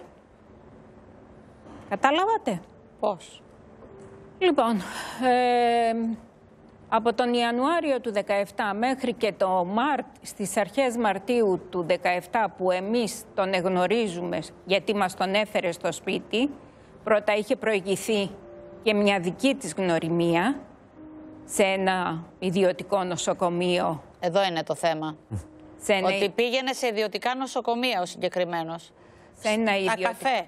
Στα καφέ. Ναι. Γιατί για να βλέπει τους ασθενείς τετατέτ. Και σε λόμπι ξενοδοχείων πήγαινε. Ορίστε. Και στις ρεσεψιόν των ξενοδοχείων Εκεί ε, ακριβώς. συναντιόταν με τους Ξέρουμε, ασθενείς του. Ακούσαμε, μας είπε το παιδί μας ότι γνώρισε μέσω του πνευματικού, έχει κάνει καλά ανθρώπους. Μας είπε ένα συγκεκριμένο κύριο, ο οποίος ιάθηκε στην εκκλησία και την παρο... παρότρινα... Σημαντικός κύριος. Γνωστότατος. Ναι, όχι, απλώς το λέω για τον κόσμο για να μην γνωστός. νομίζετε όχι. ότι μια γυναίκα με αυτή την κοινωνική μόρφωση. Γιατί τη είπανε πολύ συγκεκριμένο παράδειγμα, το οποίο και σε μένα να το έλεγες, θα έλεγα, Όπα, Ναι. είναι. Οπότε έρχεται η στιγμή που γνωρίστηκαν. Αλλά γνωρίστηκαν στην καφετέρια ενός ιδιωτικού νοσοκομείου. Είχαν πάρει τις εξετάσεις τους μαζί, όσες μπορούσαν να είχαν πάρει, γιατί μιλάμε ότι η ιστορία της δεν ήταν χθεσινή, υπήρχε παρελθόν 4,5 χρονών από πίσω. Με τον Από- καρκίνο. Με τον καρκίνο. Ε, και μας είπανε όταν ήρθαν στο σπίτι ότι θα έρθει κάποια μέρα να δει όλους τους φακέλους που υπάρχουν στο σπίτι, όλες τις αξονικές. Για... Ψευτογιατρός. Ναι. Γιατί αυτοί δυστυχώς που είναι στα νοσοκομεία δεν ξέρουν να διαβάζουν και πρέπει να δω τι συμβαίνει. Είχαμε και έχουμε την τύχη να μένουμε οικογενειακά. Και τώρα ήρθε και ο γιος μετά το συμβάν και μένετε όλοι παρέα με τα δύο παιδιά που πια μεγαλώνουν. Τα δύο παιδιά. Κατεβαίνουμε λοιπόν. Μα μας λέει θα, είτε, ε, σαν γονείς της, να τον εγνωρίσετε κι εσείς, να μας πείτε την άποψή σας. Και τον εφέρνει στο σπίτι. Κατεβαίνουμε, βλέπουμε ένα πολύ ευπαρουσίαστο κύριο, πολύ καλοντημένο, πολύ καλομι... γλυκομίλητο, με ένα τάμπλετ μπροστά του και μόλις με βλέπει μου λέει «Μητέρα, έλα να δεις τι παιδί έχεις». Τι παιδί έχω. Μου ανοίγει το τάμπλετ και μου δείχνει έναν εγκέφαλο μέσα, τη μαγνητική ενός εγκεφάλου, την αξονική, δεν ξέρω. Εκεί που τα οστά του κρανίου σταυρώνονται, κα- υπήρχε ένα πραγματάκι, σαν σταυρουδάκι, σαν Σαν, τέτοιο, σαν αγγελάκι μου το έκανε και έκανε τα φτεράκια του έτσι. Κοίταξε να δεις, μου λέει τι παιδί έχεις. Αυτό δεν συμβαίνει συχνά. Αυτό συμβαίνει μία φορά στις τόσες όταν ο, ο άνθρωπος είναι πολύ ευλαβής. Αυτό θέλαμε να ακούσουμε. Αυτό μας έπεισε. Μας είπε ότι ό,τι έχει κάνει από τον ιατρικό της φάκελο των 4,5 χρόνων, τα πάντα είναι τσάμπα. Άδικα της έκανε, έγινε η μαστεκτομή, άδικα έκανε τις χημ- ε, χημειοθεραπείες, α, α, α, άδικα όλα, άδικα, άδικα ταλαιπωρείται, άδικα της πέσαν τα μαλλιά, άδικα στεναχωριέται. Το μόνο δικαιολογημένο ήταν ότι θα έκανε εκείνος από εκεί και πέρα. Λοιπόν, εγώ είμαι, λέει, ένας ερευνητής στην Ελβετία, προερχόμενος από την Αμερική, με γονείς, με αυτή τη μόρφωση, με... Και αποφάσισα, λέει, να κατασταλάξω σε ένα μεγάλο ερευνητικό κέντρο στην Ελβετία και από εκεί να έρχομαι εδώ και να βοηθώ ε, ε, βαθιά θρησκευόμενους ανθρώπους. Άρα χρησιμοποίησε τη θρησκεία, ναι. Γιατί ο την Πάτερ- πνευματικότητα ο του Πάτερ- καθένα από εμάς για να μας πείθει ότι ήταν ο ιδανικότερος όλων. Βάση, σαν βάση χρησιμοποίησε. τη- Εδώ είναι το θέμα. Γι' αυτό το λέω και το ξεκαθαρίζω. Αυτό είναι μια μεμονωμένη περίπτωση και πρέπει να το πούμε. Από εκεί και πέρα εκμεταλλευότανε το ότι α, η κόρη σας ήταν παιδί του Θεού. θρησκευόμενη. Έτσι, μπράβο. Δεν μπορούσαμε να και της ε, πούμε. είδε στον εγκέφαλό της μεταξύ των οστών έναν άγγελο. Άρα για τον συγκεκριμένο ήταν ένα δείγμα ότι ήταν α, ε, επιλεγμένοι από το Θεό να πάνε όλα καλά. Είχε έρθει και εκείνο στη ζωή της για να τσεπώσει τα 70.000 ευρώ 60 επί αποδείξει 35.000. Μάλλον έλεγε στον καθέναν αυτό που ήθελα να ακούσω, Αυτό όπω που κάνουν όλοι θέλαμε. οι μεγαλοαπαταιώνε. Και μην ξεχνάμε, Ζήνα, από την έρευνα της αστυνομίας προέκυψε ότι ο συγκεκριμένο άνθρωπο από το 2012 δεν είχε υποβάλει καν φορολογική δήλωση και δεν είχε πιστοτικές κάρτες. Ενώ από το 2016 και μετά του είχε επιβληθεί απαγόρευση εξόδου από τη χώρα για την απάτη σε βάρος γνωστού επιχειρηματία. Τώρα εσείς αύριο καταθέτετε. Γιατί συνεχίζεται η δίκη του, Ε, του συγκεκριμένου. Η αύριο ή την Τετάρτη θα μας ειδοποιήσει ο κύριος Σούρλας. Έχουμε τον κύριο Σούρλα λοιπόν να τον ακούσουμε για να μας πει και ο κύριος Σούρλας α, είναι από το γραφείο του εκεί στο Κολονάκι. Ε, Στέλιο μου, καλό μεσημέρι. Από την πρώτη στιγμή είμαστε παρέα σε αυτό το ρεπορτάζ και με την α, Ρούλα Κουσκούρη. Θέλω να μου δώσεις δύο-τρία βασικά στοιχεία γιατί α, ε, α, είναι σε εξέλιξη η δίκη. Οπότε να μας δώσεις αυτά που επιτρέπετε έτσι μέσα σε δύο λεπτά να πούμε τώρα. Ζήνα, η περίπτωση της ε, Γιαννούλας Μωραήτη είναι η χαρακτηριστικότερη περίπτωση η οποία καταδεικνύει την εγκληματική δράση του συγκεκριμένου ανθρώπου και καταδεικνύει και τον εγκληματικό χαρακτήρα καθότι σε κάθε φάση ε, ενώ έβλεπε ότι υποτροπίαζε και το, ε, ενώ έβλεπε ότι έλειωνε η κοπέλα αυτός επιβεβαίωνε τον ανθρωποκτόνο σκοπό του και συνέχιζε. Συνέχισε ακάθεκτος, συνέχισε χωρίς ήκτο, χωρίς κανένα δισταγμό. Επιβεβαιώνεται η εγκληματική του, και ο ανθρωπο- η εγκληματική του δράση και ο ανθρωποκτόνος σκοπός από αυτό ακριβώς το πράγμα. Είχε καταλήξει η κοπέλα να είναι 32 κιλά και μέχρι και την τελευταία στιγμή αυτός επέμενε στο αφήγημά του και στην εξαπάτησή του. Δεν ήταν δηλαδή απλά για να πάρει τα χρήματα. Κάτσε λίγο Στέλιο μου να ακούσω λίγο τον μπαμπά και τη μαμά. Δηλαδή της έλεγαν να μην τρώει. Τι της έλεγε; Δεν υπήρχε φαγητό στη διατροφή της. Εκτός από ζουμιά και τέτοια. Από ζουμιά, από μπατζάρια. Μαϊντά. Ούτε η ψύχα του μπατζαριού, ούτε ολόκληρο το μπατζάρι. Το νερό του μπατζαριού, το νερό του μαϊντανού, το νερό του πορτοκαλιού. Οι ψύχες πεταγόντουσαν γιατί είχαμε πάρει ειδικό αποχημωτή που κάνει αυτή τη δουλειά. Μόνο το χυμό. Και μέσα σε αυτό το χυμό ρίχναμε τα ιάματα, τα έλαια τα οποία μας είχε δώσει, συν κάποια βότανα από το Άγιο Όρος, τα οποία βράζαμε από τα ξημερώματα, να βάλουμε μέσα στα γόντες, να κάτσουν τα συστατικά και να το πιει. Βόταν Και να οι πάει και μοναχοί στη τα δουλειά. έστελναν Γιατί- υποτίθεται Τα στην έστελναν οι Ελβετία, μοναχοί. από το Άγιο Όρος. Ω, έστω- πάτη.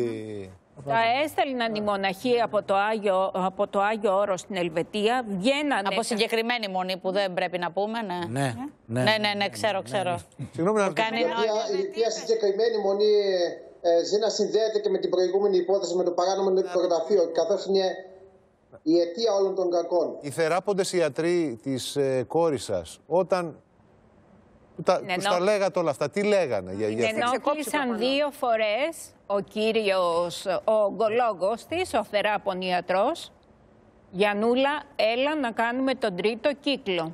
Δεν υπήρχε υπόνοια, γράφει το χαρτί της βιοψίας. Συγκεκριμένο υπόνοια ότι πρέπει να συνεχίσουμε τη θεραπεία. Την είχε απομονώσει Έμπαινε- ο συγκεκριμένος έμπαινε- άνθρωπος. έμπαινε Ζήνα είχε μέσα απομονώσει από τους ιατρούς τους υπόλοιπους. Σε γνωστό νοσοκομείο των Αθηνών όπου νοσηλευόταν η Γιαννούλα, έβαζε το σύζυγο της Γιαννούλα να φυλάει στην πόρτα για να μην έρθει κάποιος γιατρός και τον δει νοσηλευτής, προκειμένου να κάνει τις ενέσεις που εκείνος έφερνε από το Βατικανό μέσα στο, στο δωμάτιο του νοσοκομείου. Και εδώ Και προσέξτε, ενέσεις στη σπονδυλικής στήλη. Εδώ ήθελα να Ένα πω. άσχετο έκανε ένεση στη σπονδυλικής στήλη. Ηλία μου. Πραγματικά, αυτή τη στιγμή σε βλέπω και με τον τρόπο που κάθεσαι και την αμηχανία που έχεις, γιατί πραγματικά νιώθεις ότι, ξέρεις κάτι τώρα, δηλαδή ακούει ο κόσμος αυτά που λέμε και ενδεχομένως κάποιοι να λένε καλά.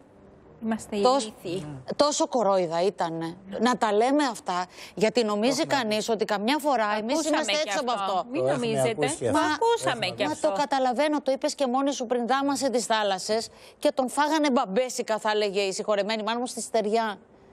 Δηλαδή πραγματικά πώς νιώθεις σήμερα μετά από όλα αυτά τα πράγματα που ακούς, που βλέπεις τα παιδιά σου, τα εγγόνια σου; Λούλα μου, ε, Ζήνα μου, τον πίστεψα αυτόν τον άνθρωπο. Τον πίστεψα. Όταν ήρθε στο σπίτι για να τον γνωρίσουμε, μου έβγαλε την κάρτα του, η οποία ήταν χρώματος άσπρου ή, ε, είχε επάνω ε, αριστερά τον, ε, την ε, σημαία της Ελβετίας, το Σταυρό, και μάλιστα μας έδειξε και την ημερομηνία γέννησής του, δεν θέλω να την Ποιο; αναφέρω.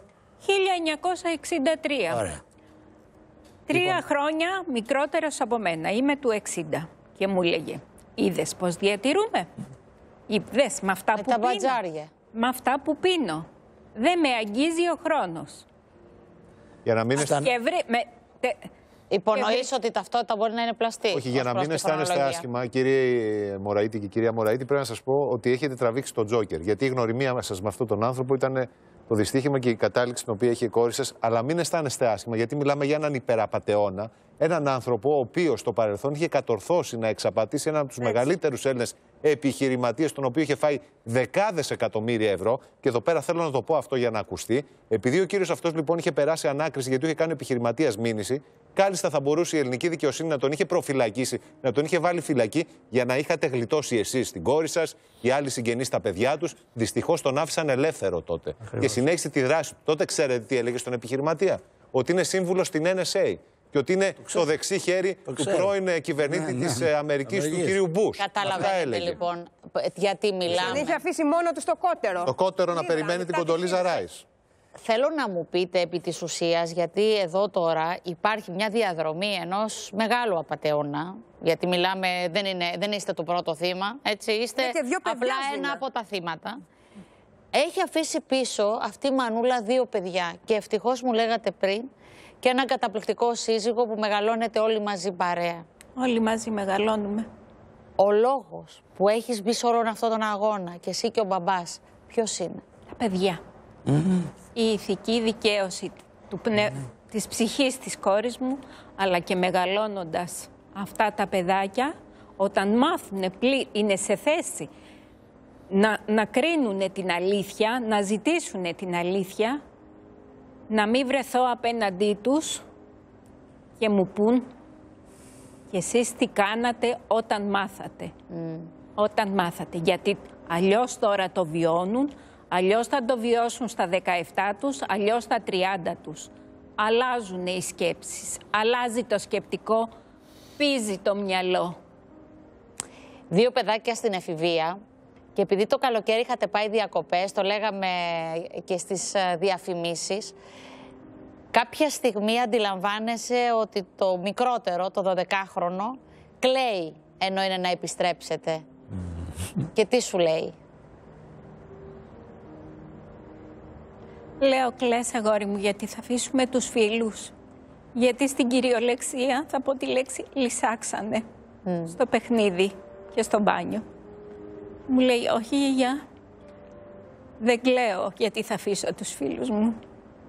Κλαίω γιατί δεν, με περιμέ... δεν θα με περιμένει η μάνα μου. Είναι η μαχαιριά αυτή η μεγαλύτερη και από την εικόνα που έχω όταν ρίξανε χώμα πάνω στο παιδί μου και του κλείσαν το καπάκι. Αυτή η μαχαιριά ότι δεν θα με περιμένει η μάνα μου θα με στείλει και μένα να τη βρω.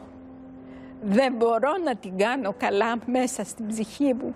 Δεν μπορώ να τη θασεύσω. Δεν ξέρω τι σκέφτεται αυτό το μωρό. Δεν ξέρω. Δεν ξέρω που, πώς. Ότι δεν τον περιμένει η μάνα του. Και μεγαλώνοντας όταν μάθηκε τον τρόπο που έφυγε, τι θα γίνει αυτό το παιδί; Υποστηρίζονται ψυχολογικά. Ε, λογικό. Δεν τα έχουμε στο έλεος του Θεού. Λογικό. Υποστηρίζονται και είναι άριστοι μαθητές και πολύ ωραία και καλά παιδάκια. Έχετε Όχι- κι άλλο εγγονάκι όμως τώρα από το Έχω. γιο που τα Ναι. άφησε όλα για να είναι κοντά σας, για να γίνετε μια Άφησε οικογένεια; την καριέρα του, ήταν Ακριβώς. αξιωματικός του εμπορικού ναυτικού και κάθισε πίσω για να προσέχει εμάς τους δύο πια. Είχατε δύο πολύ καλά παιδιά. Έχετε δύο πολύ καλά παιδιά για μένα. Γιατί η ψυχή της πάντα είναι εδώ. Τι θα έλεγε σήμερα μέσα από αυτή τη θέση εδώ, στον κόσμο που μας ακούει; Η Γιαννούλα τι θα έλεγε; Όχι, εμείς. Εσείς, και ο μπαμπάς και η μαμά. Μπαμπά, τι θα έλεγες; Είμαι πολύ φορτισμένος. Αγκαλιάστε τα παιδιά σας. Αγκαλιάστε τα, αλλά τόσο όσο πρέπει.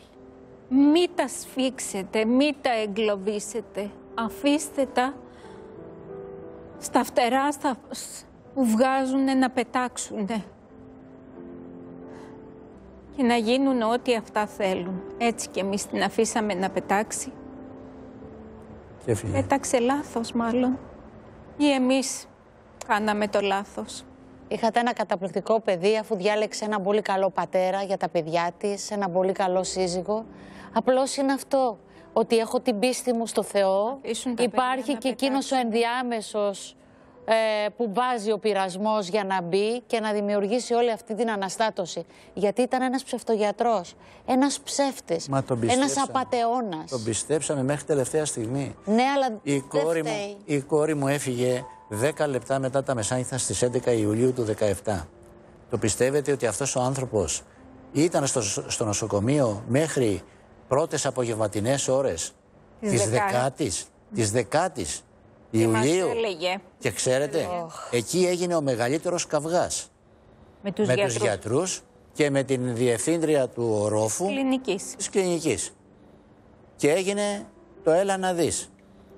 Και, όταν τελείωσε ο καυγάς, ξέρετε τι μου είπε; Με πήρε λοιπόν από τον νόμο και με πήρε λίγο πιο πέρα και μου λέει «Είδες Ηλία τι σημαίνουν οι γιατροί στην Ελλάδα, πως συμπεριφέρονται με αυτόν τον τρόπο; Ας έρθουν όλοι αυτοί να βάλουμε τα διπλώματά μας επάνω σε ένα τραπέζι και να φέρω και εγώ τα δικά μου να δούμε ποιανού είναι το ανώτερο δίπλωμα.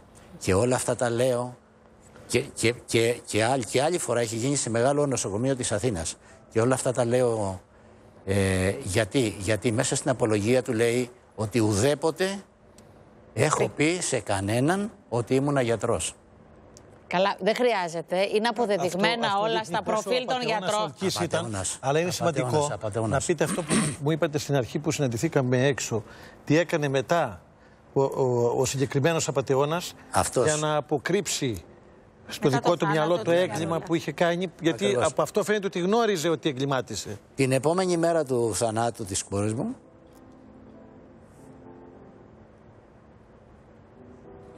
Συγγνώμη. Αχ, μωρέ. Ήρθε στο σπίτι του γαμπρού μου; και άνοιξε τα ντουλάπια γιατί ήξερε που τα βάζουμε και τα πήρε όλα. Ναι, για να μην έχετε βοηθήσει και άλλους αποδεικτικά ανθρώπους. στοιχεία. Ήταν μια κοπέλα στην Γκο, στη Ρόδο, στην Γκο νομίζω, στην Γκο και ήθελε να βοηθήσει, να τα στείλει κάτω στην Γκο να γίνει καλά η κοπέλα. Αποδεικτικά στοιχεία να μην έχετε. Και ευτυχώς πάνω στον απροφητήρα είχαν, είχα, είχε αφήσει δύο-τρία Σκευάσματα. σκευάσματα και αυτά τα καταθέσαμε. Ωχ, σας ευχαριστώ πάρα πάρα πολύ. Πραγματικά. Να σας πω ότι έγραφε η πλάκα της Γιαννούλας. Ναι, ό,τι θέλεις να μου πεις. Δεν ξέρω αν το είχε συζητήσει με τον άντρα της, βλέποντας τον εαυτό της να πέφτει, να πέφτει, να πέφτει. Αλλά όταν έγινε το μοιραίο και αναγκαστήκαμε να φτιάξουμε το μνημείο, το σπιτάκι της όπως το λέγανε τα παιδιά, του είχε ζητήσει να γράψει «Προσδοκώ Ανάσταση νεκρών». 15 μέρες πριν το- την εκταφή της, βγήκε στον αέρα ο ψευτογιατρός. Τον έβγαλε η τηλεόραση. Ενώ ήμασταν διακοπές. Υπάρχει Θεός. Δεν τον, ε, ε, τον ευγάζουμε από τη ζωή μας. Έχουμε πίστη. Τώρα, αν μερικοί δεν είναι άξιοι να φορούν τα ράσα, δεν μπορούν να τα τιμήσουν, τι να πω. Εδώ τελειώνω. Ο Θεός να με βοηθήσει να τους δω άντρες, γιατί της το υποσχέθηκα, βγαίνοντας η τελευταία της ανάσα. Θα στα κάνω άντρες. Αγάπη μου. Τίποτα άλλο. Σας ευχαριστώ Τίποτα πάρα άλλο. πολύ. Και εμείς σε ευχαριστούμε. Είναι πολύ δύσκολο. Είμαστε κοντά σας σε αυτόν τον αγώνα. Είμαστε παρέα, θα είμαστε. Μια φωτογραφία Στα μου δικαστήρια μείνε είμαστε. από τη Έχουμε έναν Γιάννουλα. εξαίσιο δικηγόρο, τον κύριο Σούλα. Ναι. Και Πάντως σε θέματα θα υγείας ξαναπούμε εμπιστευόμαστε και μόνο με τους το Στέλιο επιστήμονε. πάλι. τον ευχαριστώ πάρα πολύ. Για το Τέλειο, θέμα μου σε υγείας. ευχαριστούν πολύ εδώ οι άνθρωποι. Ε, Εμείς και θα τα χρόνια πούμε πολλά του έτσι κύριου κι αλλιώς Σούλα. από κοντά εδώ. Σε Γιορτάζουμε. περιμέναμε και εδώ σήμερα, αλλά λίγο υπήρχε ανατροπή του προγράμματος από την πλευρά σου. Πάμε σε διαφημίσεις και αμέσως μετά θα είμαστε εδώ. Μέσα από την καρδιά μου σας ευχαριστώ πολύ. Ελπίζω την επόμενη φορά τουλάχιστον δικαιωμένοι αυτός ο άνθρωπος να πάρει την τιμωρία που του αξίζει και να είμαστε εδώ όλοι μαζί να, Να το αναπαυθεί η φωνάξουμε δυ- ψυχή της. δυνατά. Ακριβώς. Να αναπαυθεί η Ευχαριστούμε. ψυχούλα της. Έφυγε πια.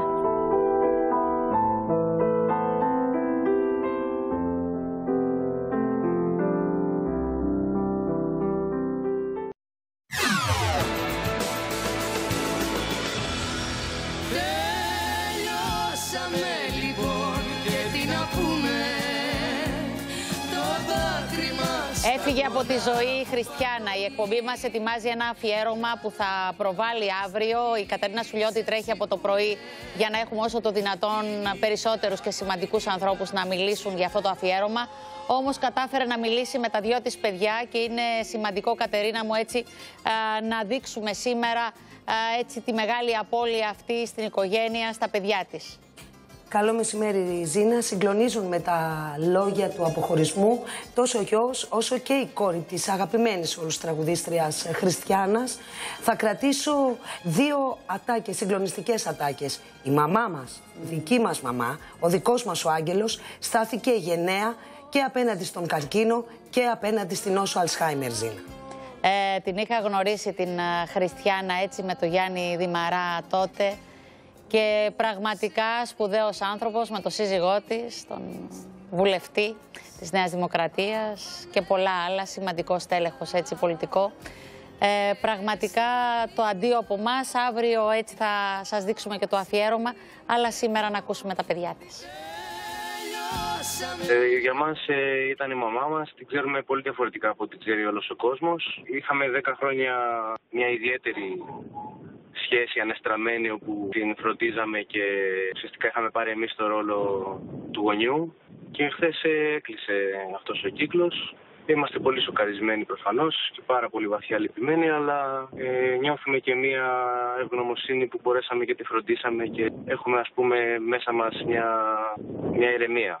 Πόσο δύσκολο είναι για ένα παιδί όταν η μαμά του έχει Αλσχάιμερ. Ε, Η μητέρα μας εμάς ασθένησε όταν ήμασταν και οι δύο μικροί. Η αδερφή μου ήταν 22, εγώ ήμουν 25 στα 26 ας πούμε. Αυτή η ασθένεια είναι μια δύσκολη ασθένεια τόσο για τον ασθενή όσο και για τους ανθρώπους που τον περιτριγυρίζουν. Αυτοί οι άνθρωποι χρειάζονται κατανόηση και, και να υπάρχει ενσυναίσθηση, να υπάρχει ε, σεβασμός στις επιθυμίες του ανθρώπου που αρρώστησε. Το, ότι, το γεγονός ότι αρρώστησε ή ότι δεν μπορεί να υπερασπιστεί τον εαυτό του δεν σημαίνει ότι οι επιθυμίες του πάγου να ισχύουν. Είναι μια πολύ δύσκολη ψυχολογική δοκιμασία αυτή και είναι μια δοκιμασία η οποία συνήθως κρατάει πολλά χρόνια.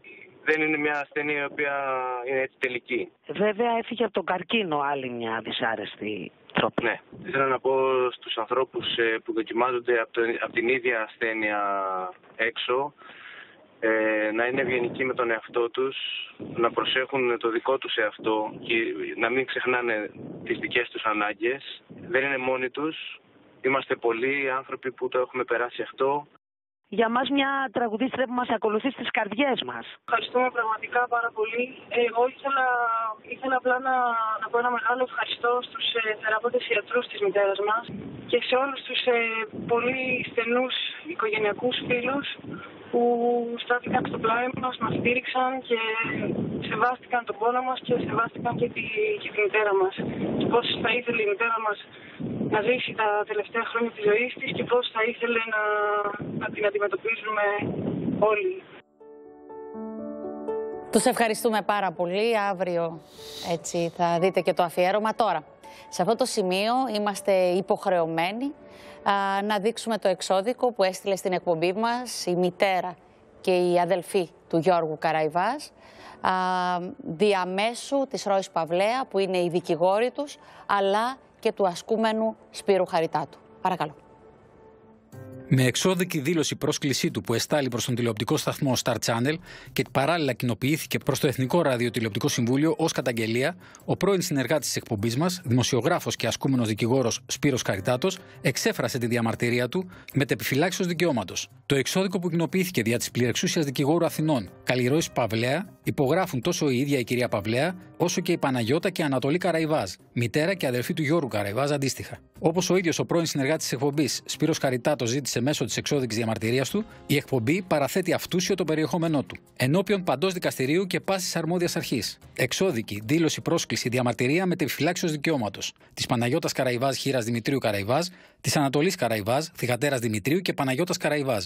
Τους Σπυρίδωνα Χαριτάτου του Σωτηρίου, δημοσιογράφου και ασκόμενα δικηγόρου προς την ανώνυμη εταιρεία με την επωνυμία Star Channel Νέα Τηλεόραση ΑΕ, κοινοποίηση ως καταγγελία προς το Εθνικό Συμβούλιο Ραδιοτηλεόρασης. Την 18η Εντεκάτου 2021, ημέρα 5η, περιήρθε γνώση μας από τρίτους ότι στην απευθείας μετάδοση της εκπομπής Αλήθεια με τη Ζήνα του τηλεοπτικού σταθμού Star Channel εκτοξεύθηκε μια πρωτοφανή συνορχιστρωμένη επίθεση εναντίον ημών από την παρουσιάστρια της εκπομπής Ζήνα Κουτσελίνη, των παρισταμένων συμμετεχών των δημοσιογράφων και από το δικηγόρο Αθηνών Απόστολο Λίτρα. Η παρουσιάστρια της εκπομπής Ζήνα Κουτσελίνη, άνευ της προβλεπόμενης και απαιτούμενης ενημέρωσης και προειδοποίησης για την προβολή του θέματος, αλλά και κατά τη διάρκεια μετάδοσης αυτού, για όσα ψευδή και συγκοφατικά θα επακολουθούσαν, δεν έδωσε ούτε καν δικαίωμα απάντησης και αντιλόγου σε όσα δυσφημιστικά και μεροληπτικά λέχθηκαν εναντίον μας. Στον αέρα της Οσάνο εκπομπής υψηλής θεαματικότητας, ενώ διαπόμπευσαν και διέσυραν τους τέσσερις μας και δημιούργησαν αλγινές εντυπώσεις για το πρόσωπό μας ως εξής. Η παρουσιάστρια της εκπομπής Ζήνα Κουτσελίνη παραγνωρίζοντας το νόμιμο δικαίωμα της μητέρας και αδερφής του του γιου και αδερφού μας, καθώς και το δικαίωμά μας να διορίσουμε συμπαραστάτες της επιλογής μας, αμφισβήτησε ευθέως το δικαίωμα της ελεύθερης βούλησης και επιλογής. Μάλιστα, προσέβαλε βάναυσα την προσωπικότητα της δικηγόρου Ρόης Παυλέα και του ασκούμενου δικηγόρου και δημοσιογράφου Σπύρου Χαριτάτου, αφήνοντας να υπονοηθεί από τους συμμετέχοντες στο πάνελ της εκπομπής ότι επειδή η Παναγιώτα Καραϊβάζ είναι γυναίκα από χωριό, δικηγόρος Απόστολος Λίτρας, υποκινηθήκαμε εμείς, η μητέρα και η αδερφή του αείμνηστου γιου και αδερφού μας, από τους Ρόη Παυλέα και Σπύρο Χαριτάτο και ειδικότερα από το Σπύρο Χαριτάτο για επικοινωνιακούς λόγους. Αυτό έγινε σύμφωνα με τους συμμετέχοντες στην εκπομπή, προκειμένου να αναλάβει η Ρόη Παυλέα την υποστήριξη της κατηγορίας. Προφανώς στη νοοτροπία της παρουσιάστριας και του κυρίου Λίτρα, οι γυναίκες από το χωριό δεν έχουν επαρκή νοημοσύνη για να επιλέξουν νομικό συμπαραστάτη. Η Παναγιώτα Καραϊβάζ και η Ανατολή Καραϊβάζ κατηγορηματικά διαψεύδουν ως συκοφαντικό τον ως άνω ισχυρισμό που άφησε να διατυπωθεί η παρουσιάστρια Ζήνα Κουτσελίνη και εξέφρασαν ο δικηγόρος Απόστολος Λίτρας και ο δημοσιογράφος Πέτρος Κουσουλός. Ήδη με την παρούσα, ρητά δηλώνουμε ότι η επιλογή της Ρόης Παυλέα όσο και του Σπύρου Χαριτάτου, ο οποίος υπήρξε χρόνια προσωπικός φίλος με τον αίμνηστο γιο και αδερφό μας, ανταποκρινόταν σε δική μας ελεύθερη βούληση και ότι κανείς δεν μας υποκίνησε δεν μας πλησίασε παραπλανώντας μας. Ενώ τα περί του αντιθέτου υποστηριζόμενα από την παρουσιάστρια και το πάνελ της είναι ψευδή και συκοφαντικά, τόσο για το πρόσωπο της Παναγιώτας και Ανατολής Καραϊβάζ, όσο και για τη Ρώη Παυλέα και το Σπύρο Χαριτάτο. Η παρουσιάστρια Ζήνα Κουτσελίνη και οι συμμετέχοντες στην εκπομπή Αλήθεια με τη Ζήνα προέβησαν σε ενορχιστρωμένη, άδικη και απρόκλητη επίθεση εναντίον όλων μας, ενώ χωρίς προειδοποίηση και χωρίς δικαίωμα απάντησης και αντιλόγου, έβλεπε και άκουγε το Πανελλήνιο και οικία μας πρόσωπα για μεγάλο χρονικό διάστημα, όσα εξωφρανικά λέχθηκαν, χωρίς να το γνωρίζουμε. Η παρουσιάστρια της εκπομπής Ζήνα Κουτσελίνη αμφισβήτησε την εντιμότητα και την ηθική της δικηγόρου Ρόης Παυλέα και του ασκούμενου δικηγόρου και δημοσιογράφου Σπύρου Χαριτάτου, αναφέροντας προς υποστήριξη των όσων αβασίμων θα επακολουθούσαν ότι εντύμως παρακαλώ, γιατί η εντυμότητα δεν έβλαψε ποτέ κανέναν, αντιθέτως η ανεντιμότητα βλάπτει. Υπονοώντας ότι η δικηγόρος Ρώη Παυλέα και ο ασκούμενος δικηγόρος Σπύρος Χαριτάτος είναι ανέντιμοι. Η παρουσιάστρια της εκπομπής, κυρία Ζήνα Κουτσελίνη, δήλωσε η ίδια και άφησε να επαναλαμβάνεται στον αέρα της καταγγελόμενης εκπομπής ότι με το από 16 Δεκάτου 2021 δελτίο τύπου ημών της Παναγιώτας και Ανατολής Καραϊβάζ, θέσαμε σε κίνδυνο όλους τους και ειδικότερα τη ζωή του αγαπημένου μας εγγονού και ανιψιού Δημήτρη Καραϊβάζ. Με τους αβάσιμους ως άνω ισχυρισμούς, η παρουσιάστρια θέλησε να προκαλέσει συναισθηματικό πανικό στο τηλεοπτικό κοινό για λόγους που ουδής κατανοεί. Η παρουσιάστρια της εκπομπής Ζήνα Κουτσελίνη φώναξε δυνατά και προέτρεψε δύο φορές τον ανενημέρωτο και ανυποψίαστο για την προσβολή και προβολή του θέματος, Σπύρο Χαριτάτο, να κάνει πίσω για το φάουλ αυτό, χωρίς να προσδιορίζει σε τι έπρεπε να κάνει πίσω, αφήνοντας υπονοούμενα στο τηλεοπτικό κοινό ότι ο Σπύρος Χαριτάτος προέβησε μη νόμιμες ενέργειες, για τις οποίες σύμφωνα με συμμετέχουσα στο πάνελ της εκπομπής υπάρχει ακόμα χρόνος να ανακληθούν. Η παρουσιάστρια της εκπομπής, κυρία Ζήνα Κουτσελίνη, παροτρύνοντας τους δημοσιογράφους της εκπομπής και τον καλεσμένο δικηγόρο, κύριο Απόστολο Λίτρα, δήλωσε και άφησε να επαναλαμβάνεται στον αέρα της εκπομπής ότι με τη δήλωση προς υποστήριξη της κατηγορίας, εμείς, η Παναγιώτα και η Ανατολή Καραϊβάζ, θελήσαμε να διχάσουμε την οικογένεια. Η αλήθεια είναι ότι εμείς επιλέξαμε ελεύθερα ω νομικούς μας συμπαραστάτες τη Ρώη Παυλέα και το Σπύρο Χαριτάτο, για να προστατεύσουμε τα ένομα συμφέροντά μας και να αντιμετωπίσουμε δραστικά και άλλα νομικά θέματα. Αντίθετα, οι παράγοντες της εκπομπής, με περοξέχουσα την παρουσιάστρια, θέλησαν να δημιουργήσουν εκείνη, προς άγρα τηλεθέασης, ανύπαρκτο θέμα ενδοοικογενειακής σύντρικα, βλέποντας δίθεν διχόνοια μεταξύ μας. Επαναλαμβάνουμε ότι είναι νόμιμο και αναφέρω το δικαίωμά μας, εμάς, της μάνας και αδερφής του αγαπημένου μας Γεωργίου Καραϊβάζ, να δηλώσουμε παράσταση προς υποστήριξη κατηγορίας για την άνανδρη δολοφονία του ιού και αδερφού μας αντίστοιχα. Όπως είναι αναφέρω το δικαίωμά μας και καθησυχάζουμε όσους εκτιμούν ότι διαθέτουμε επαρκή νοημοσύνη να επιλέξουμε τα άτομα που θα συμπαρασταθούν στο δύσκολο αγώνα μας. Η εκπομπή Αλήθειες με τη Ζήνα δεν έχει λόγο και δικαίωμα να κρίνει τις επιλογές μας στον αέρα της εκπομπής της.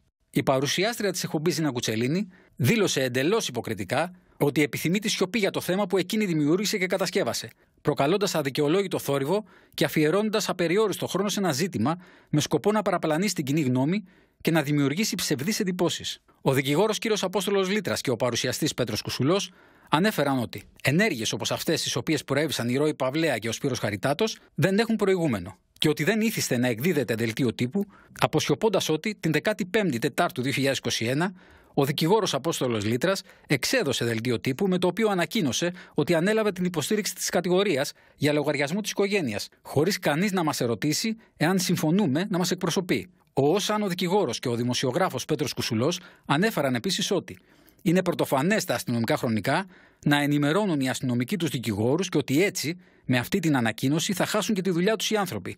Σημειωτέον ότι ο δικηγόρος Απόστολος Λίτρας, μετά τη δολοφονία του αείμνηστου γιου και αδερφού μας, έχει καταγραφεί από τηλεοπτικές εκπομπές, αμέσως μετά την έξοδό του από τη ΓΑΔΑ, να μιλά για την ενημέρωση που έδωσε και έλαβε από την αστυνομία, την οποία ενημέρωση αρνείται σε όλους τους υπολοίπους. Επίσης, εμείς, η μητέρα και αδελφή του Γιώργου Καραϊβάζ, αρκετές φορές παρακολουθήσαμε από το σπίτι μας το δικηγόρο Αθηνών, κύριο Απόστολο Λίτρα, να βγαίνει σε τηλεοπτικές εκπομπές και να ενημερώνει για την πορεία της έρευνας που αφορούσε στο γιο και αδερφό μας, χωρίς ουδέποτε να έχει επικοινωνήσει μαζί μας για αυτό το σκοπό. Ο δικηγόρος κύριος Απόστολο Λίτρας ανέφερε επίσης ότι οι νομικοί μας συμπαραστάτες όφυλαν, προτού εκδώσουμε δελτίο τύπου, να τον ενημερώσουμε, ώστε να έχουμε σε εξέλιξη δικαστική υπόθεση μαζί, ενώ όπως προεπόθηκε, εκείνος έχει εκδώσει το από 15 Τετάρτου 2021 δελτίο τύπου και έχει επανειλημμένω εμφανιστεί σε τηλεοπτικές εκπομπές, χωρίς ποτέ να ενημερώσει τη μητέρα και την αδερφή. Προφανώς γιατί κατά την κρίση του είμαστε, όπως δήλωσε, γυναίκες του χωριού και περίττευε η δική μας άποψη. Η αλήθεια που αποκρύφθηκε από τον ως άνω δικηγόρο και την παρουσιάστρια της καταγγελόμενης εκπομπής είναι ότι καίτοι δεν υπήρχε προς τούτο υποχρέωση. Τόσο η σύζυγος του αίμνης του Γεωργίου Καραϊβάζ, όσο και ο ίδιος ο Απόστολος Λίτρας είχαν προηγουμένως ενημερωθεί τηλεφωνικά για την ανάληψη της υποστήριξης της κατηγορίας για λογαριασμό ημών, μητέρας και αδερφής του Γεωργίου Καραϊβάζ. Και φυσικά ο Όσαν ο δικηγόρος δεν εκδήλωσε τηλεφωνικά καμία διαφωνία, πώ θα μπορούσε άλλωστε, αλλά προτίμησε να προσβάλλει βαθύτατα στον τηλεοπτικό αέρα δύο συναδέλφους του, μία δικηγόρο και έναν ασκούμενο δικηγόρο, επικουρούμενου από την παρουσιάστρια της εκπομπής και τους δημοσιογράφους του πάνελ. Επειδή όλα τα παραπάνω είναι πρωτοφανή στα τηλεοπτικά χρονικά, προσβάλλουν με τρόπο βάναυσο και θίγουν την τιμή, την υπόλοιψη, την προσωπικότητα και την αξιοπρέπειά μας, επαγγελματική και προσωπική, λόγω της προσπάθειας σύνδεσής μας με ανέντιμες συμπεριφορές, ενώ υπόθηκαν απροειδοποίητα στον αέρα της εκπομπής υψηλής τηλεθέασης για μεγάλο χρονικό διάστημα, χωρίς καμία προσπάθεια να διασταυρωθεί η είδηση και χωρίς να μα δοθεί οποιοδήποτε δικαίωμα απάντησης. Επειδή οι ως άνω δυσφημιστικέ αναφορές της καταγγελόμενης τηλεοπτικής εκπομπής και το συμμετεχόντος σε αυτή δημιούργησαν την παραπλανητική εντύπωση στο τηλεοπτικό κοινό ότι η δικηγόρος Ροή Παυλέα και ο ασκούμενος δικηγόρος και δημοσιογράφος Σπύρος Χαριτάτος δήθεν μετέρχονται ανέντιμες μεθοδεύσεις, ότι δήθεν διαπράττουν αξιόπινες και αντιδοντολογικές συμπεριφορές, αμφισβητώντας ευθέως τις προσωπικότητές τους και την επαγγελματική τους επάρκεια και συγκρότηση. Επειδή από τις ως άνω αναφορές, εμείς, οι γυναίκες του χωριού, υπεστήκαμε μια άνευ προηγούμενου δημόσια και ανέτεια προσβολή, δεδομένου ότι θίγεται η τιμή και η υπόλοιψή μας, ενώ ταυτόχρονα θίγεται και η προσωπικότητα και η επαγγελματική πίστη της Ρώη Παυλέα και του Σπύρου Χαριτάτου. Με αποτέλεσμα να απαιτείται η από μέρου του τηλεοπτικού σταθμού σας ανασκευή και επιδιόρθωση ως προς το πρόσωπο όλων μας.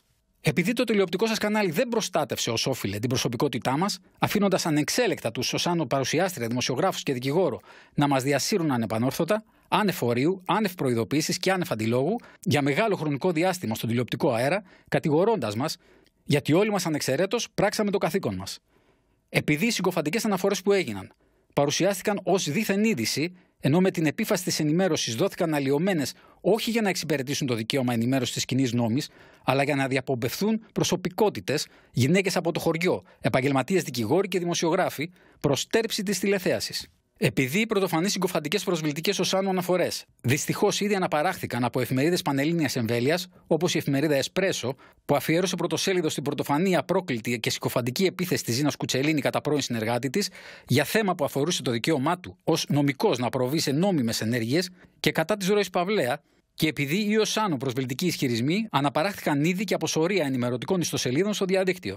Επειδή οι συκοφαντικοί ισχυρισμοί της κυρίας Ζήνας Κουτσελίνη και των συμμετοχών στην εκπομπή Αλήθεια με τη Ζήνα της 18 του 2021 Πέτρου Κουσουλού και Απόστολου Λίτρα έλαβαν διαστάσεις ανέλεκτης δημόσιας διαπόπευση όλων μας προς τέρψη της τηλεθέασης. Για τους λόγους αυτούς και με τη ρητή επιφύλαξη παντός νομίμου δικαιώματός μας, διαμαρτυρόμαστε έντονα για τις άνω απρόκλητες συκοφαντικές και άνευ προηγουμένων αναφορές και συμπεριφορές που διατυπώθηκαν και έλαβαν χώρα για μεγάλο χρονικό διάστημα σε μια ενορχιστρωμένη και στοχευμένη τηλεοπτική επίθεση στο πρόσωπό μας την 18η του 2021 στον αέρα της εκπομπής Αλήθειας με τη Ζήνα του τηλεοπτικού σταθμού σας από την παρουσιάστρια και όλους τους συμμετέχοντες στην ελόγω εκπομπή. Σας καλούμε. Πρώτον, σύμφωνα με την παράγραφο 5 του άρθρου μόνο του νόμου 1178 κάθετος 1981, όπως τροποποιήθηκε και ισχύει μέχρι σήμερα, όπως εντός αποκλειστικής προθεσμίας 10 ημερών από τη λήψη της παρούσας, αποκαταστήσετε την εις όλων μας βάναυση προσβολή με σχετική συγνώμη και επανόρθωση όσων ψευδών και συγκοφατικών υπόθηκαν στον αέρα της εκπομπής Αλήθειας με τη Ζήνα την 18η Δεκάτου 2021, διαβάζοντας ολόκληρη από αρχή μέχρι τέλους και άνευ περικοπών την παρούσα στην ως άνω εκπομπή, αποκαθιστώντας την αλήθεια. Ότι δηλαδή εμείς, η μητέρα και η αδερφή του αίμνη Γεωργίου Καραϊβάζ, ενεργήσαμε αυτοβούλο όσοι είχαμε δικαίωμα και επιλέξαμε ελεύθερα και με γνώση τη δικηγόρο Ρόι Παυλέα και τον ασκούμενο δικηγόρο Σπύρο Χαριτάτο. Ότι ουδέποτε η Ρόι Παυλέα και ο Σπύρος Χαριτάτος μπορούσαν να μας υποκινήσουν σε οτιδήποτε και με οποιονδήποτε τρόπο. Ότι η επιλογή της Ρόις Παυλέα, όσο και του Σπύρου Χαριτάτου, ο οποίος υπήρξε χρόνια προσωπικός φίλος με τον Αίμνη στο γιο και αδερφό μας, ανταποκρινόταν σε δική μας ελεύθερη βούληση. Και ότι κανείς δεν μας πλησίασε παραπλανώντας μας, ενώ τα περί του αντιθέτου υποστηριζόμενα από την παρουσιάστρια και το πάνελ της είναι ψευδή και συκοφαντικά τόσο για το πρόσωπο της Παναγιώτας και Ανατολής Καραϊβάς, όσο και για τη Ρώη Παυλέα και τον Σπύρο Χαριτάτο. Γιατί κάθε αναφορά περί υποκίνησης προσβάλλει βάναυσα την προσωπικότητα όλων μας. Δεύτερο, σας καλούμε επίσης μέσω της Οσάνου εκπομπής να ανακαλέσετε τους ακραίους και ψευδείς ισχυρισμούς περί κινδύνου της ζωής οποιοδήποτε, ως συνέπεια των αυτονόητων για την κοινή λογική και το δίκαιό μας νομίμων ενεργειών μας. Τρίτο, σας καλούμε μέσω της Οσάνου εκπομπής να ανακαλέσετε ψευδείς ισχυρισμούς περί δίθεν διχόνοια στην οικογένεια και να πάψετε ενέργειες και εκφράσεις υπόνοιας στο παρόν και στο μέλλον. Τέταρτο, να αναγνωρίσετε δημοσίως ότι μια γυναίκα του χωριού έχει άποψη και δικαίωμα να επιλέγει νομικούς συμπαραστάτες ή να αρνείται την επιβολή αυτών από τρίτους μορφωμένους. Πέμπτο, να ανακαλέσετε όσα συκοφαντικά υπόθηκαν εναντίον μας για παράτυπη ενημέρωση των νομικών μας συμπαραστατών από την αστυνομική διεύθυνση, την οποία επισκέφθηκαν κατόπιν δική μας εντολής ή της μητέρας και της αδερφής του αείμνηστου γιου και αδερφού μας.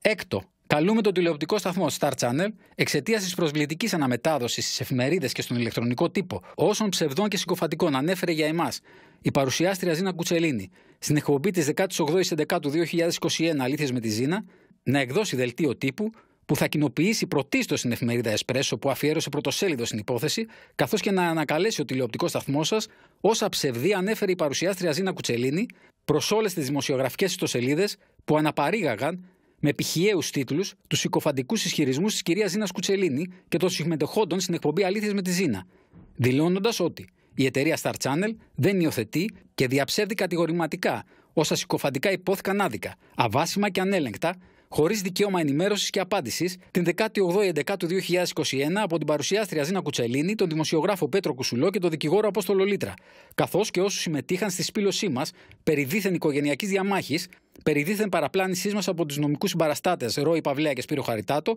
που είχαν ως αποτέλεσμα να προσβάλλουν άδικα και απρόκλητα την προσωπικότητα της Παναγιώτας και Ανατολής Καραϊβάς και την επαγγελματική τιμή της δικηγόρου Ρόις Παυλέα και του δημοσιογράφου και ασκούμενου δικηγόρου Σπύρου Χαριτάτου. Να δηλωθεί ότι οι Οσάνο έπραξαν απλά το καθήκον τους, οι πρώτες ως συγγενείς του άναδρα δολοφονημένου γιου και αδερφού της, καταθέτοντας όσοι είχαν δικαίωμα δήλωση προς υποστήριξη της κατηγορίας και οι δε Ρόι Παυλέα και Σπύρος Χαριτάτος που επιλέχθηκαν ελεύθερα από τη μητέρα και την αδερφή του θύματος. Έπραξαν απλά το επαγγελματικό τους καθήκον. Άλλος, επιφυλασσόμενοι παντός νομίμου δικαιώματός μας, σας δηλώνουμε ότι αν δεν ικανοποιηθούν πλήρως οι Οσάνο έξι προποθέσει εντός της νόμιμης προθεσμίας, θα επιδιώξουμε δικαστικά την αποκατάσταση της τιμής και της υπόλοιψής μας ενώπιον των αρμοδίων δικαστηρίων και ενώπιον των πειθαρχικών οργάνων της ΕΣΥΑ, του οποίου ο Σπύρος Χαριτάτος είναι μέλος, και του Δικηγορικού Συλλόγου Αθηνών, του οποίου η Ρώη Παυλέα και ο Σπύρος Χαριτάτος είναι μέλη. Η Μένου Ρώη Παυλέα ως δικηγόρος παραρεί πάγο και ο Σπύρος Χαριτάτος ως ασκούμενος δικηγόρος. Εκτός από το Εθνικό Συμβούλιο Ραδιοτηλεόρασης, που ζητούμε να επιληφθεί άμεσα με τη λήψη της παρούσας για την πρωτοφανή και απρόκλητη επίθεση στο πρόσωπο όλων μας, στον τηλεοπτικό αέρα της εκπομπής Αλήθεια με τη Ζήνα, από όλους τους συμμετέχοντες στην εκπομπή, την παρουσιάστρια Ζήνα Κουτσελίνη, τον δικηγόρο Αθηνών Απόστολο Λίτρα και τις δημοσιογράφους του πάνελ, μέλη της ΕΣΥΑ. Πληρεξούσιά μας διορίζουμε τη δικηγόρο Αθηνών Καλλιρό Παυλέα του Γεωργίου. Αρμόδιος δικαστικός επιμελητής εντέλεται να κοινοποιήσει την παρούσα προς αυτήν, στην οποία απευθύνεται προς γνώση της και για να επέλθουν οι νόμιμες συνέπειες. Αυτά λοιπόν. Να σας πω ότι η σύζυγος και ο γιος του Γιώργου Καραϊβάζ διαψεύδουν ότι ο Γιώργος και ο κύριος Χαριτάτος υπήρξαν για χρόνια φίλοι. Αν μπορεί ο κύριος Χαριτάτος, ας αποδείξει ότι είχαν βγει μέσω, ε, να βγει έξω, έστω και μια φορά για καφέ. Τα λέω αυτολεξί, όπως αυτολεξί είπαμε όλα όσα μας έστειλαν εδώ. Ε, τους ευχαριστούμε πάρα πολύ.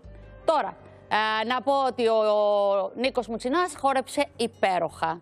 Του βάζω 20 εγώ προσωπικά, αλλά 10 από την Κριτική Επιτροπή, γιατί άμα ξέρεις το χορό, όλα τα άλλα είναι περιτά. Χορεύεις και αναστατώνεις τα πλήθη. Έτσι αναστατώνουμε εμείς οι λεβέντες. Λοιπόν, πάμε τώρα εδώ να χαλαρώσουμε, διότι θα μιλήσουμε για αντιγύριση. Και είδατε, τα είπα όλα αυτό λεξί, έλειπε το έξω και δεν το είπα. Για να δείτε ότι όταν τα λέω αυτολεξί είναι αυτολεξί ενώ τα δικά μας τα λέμε όπως θέλουμε, κυρία ελεύθερα. Μαλτέζου μου. Ελεύθερα. Θα τα πούμε ελεύθερα στον κόσμο γιατί έρχονται γιορτές και θέλουν, ρε παιδί μου, όλοι έρχονται και μας καταθέτουν αυτό το πράγμα, αυτό το όνειρο. Και χαίρομαι τόσο πολύ. Μας λένε: Θέλω να έχω μαλλιά το 22. Θέλω να είμαι νέος. Θέλω να είμαι χαρούμενος, χαρούμενη. Μπορείς, μπορείς. Καλά, ότι μπορείς, μπορείς. Τα μεντιζενέ. Άρα. Άρα, λέω να κάνουμε anti-aging makeover γιατί είμαστε Είμαστε ένα target group που δεν μπορούμε τους πόνους, τα σημάδια, τις κοκκινίλες, τις μελανιές, το να κρυφτούμε, το να πριστούμε, το να κάνουμε ένα lifting, ας πούμε. Αλλά εκεί το πρωί στον καθρέφτη κάνουμε όλοι ένα τσάκ, ας πούμε, και λέμε να ήταν λίγο το μάτι, ρε παιδί μου, πιο πάνω. Να ήταν εδώ λίγο πιο έτσι. Κατάλαβες; Τα τραβάμε από παντού. και όταν κάνουμε αυτό, εγώ πάω στα μεντίζενέ και μου λένε Έφη, θα στο κάνουμε. Θα στο φτιάξουμε. Αν εσύ έχεις τα μεντίζενες και πας συνέχεια. Εμείς τι να κάνουμε. και όλοι μπορούμε. Γιατί Για λέγε, πώς; Το έχουμε αποδείξει αυτό με αληθινές προσφορές στα μεντίζενες. Λοιπόν, έχουμε εδώ για τον κόσμο ένα φυσικό lifting το οποίο δεν έχει ενέσεις, δεν έχει νηστέρι, δεν έχει πόνο, δεν έχει σημάδι, ούτε καν αναισθητική κρέμα. είναι το anti-aging makeover, το οποίο το έζησα και μπορώ να σου πω βήμα-βήμα τι έκανα. Εδώ βλέπουμε τώρα το μαγικό pumping. Ένας μικρός ηλεκτρονικός υπολογιστής επιλέγει το πρόγραμμα για τον καθένα μας ξεχωριστά. Στο πρώτο βήμα βάζουμε τα πανίσχυρα μόρια υδρογόνου να κάνουν δουλειά με το pumper, το οποίο τι καταφέρνει, να ανορθώσει το οβάλ, να λιάνει λεπτές γραμμές και ρητίδες της έκπλησης, το πόδι της χίνας, τις ρινοπαριακές, του καπνιστή, αυτές τις μικρούλες, τις αντιαισθητικές και βέβαια να ανορθώσει λαιμό και οβάλ.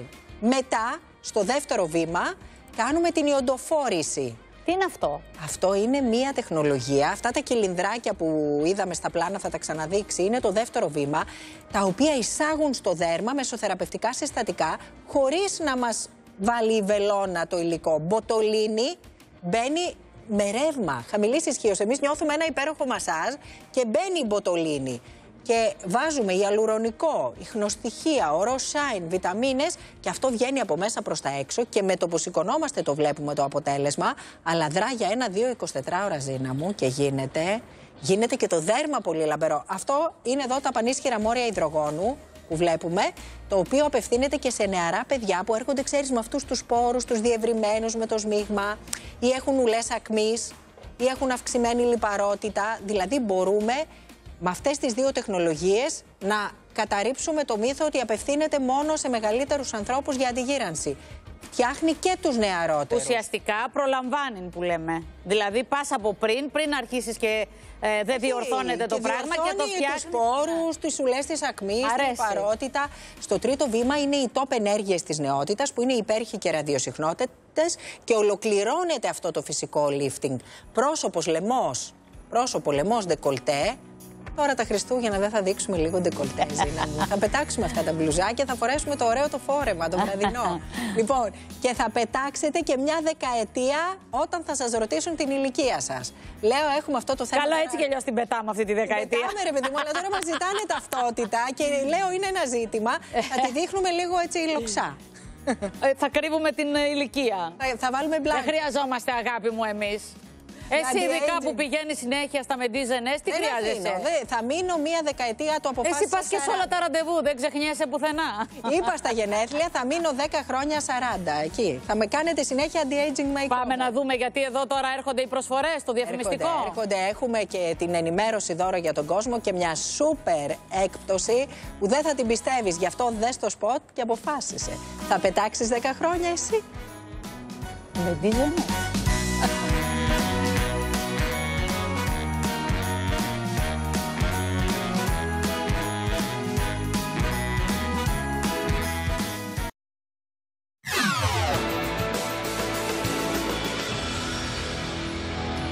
Φτάσαμε στο τέλος, Γιώργο. Έχω την αστυνομία κοντά μου, δεν φοβάμαι τίποτα. Η αστυνομία είναι εδώ. Λοιπόν, να σου πω. Ε, θέλω να πω. Πολλέ φορέ, ξέρεις, απολογείται, απολογείται, αλλά οι ευθύνες διασπείρονται. Και τι να πρωτοπρολάβει αυτή Πρέπει η αστυνομία; να κλείσω. Όταν βλέπεις απαταιώνε Πρέπει να κλείσω. απαταιώνε. Πρέπει να κλείσω, αλλά αύριο θα τους πω για την επιθεώρηση που πήγα και είδα η κυρία επιθεώρηση του Δελαπόρτα. Θα πάθετε πλάκα να πάτε όλοι. Λοιπόν, σας ευχαριστώ πολύ. Αύριο θα είμαστε εδώ, γιατί μας αγαπάτε και σας αγαπάμε. Αυτό αρκεί. Γεια σας.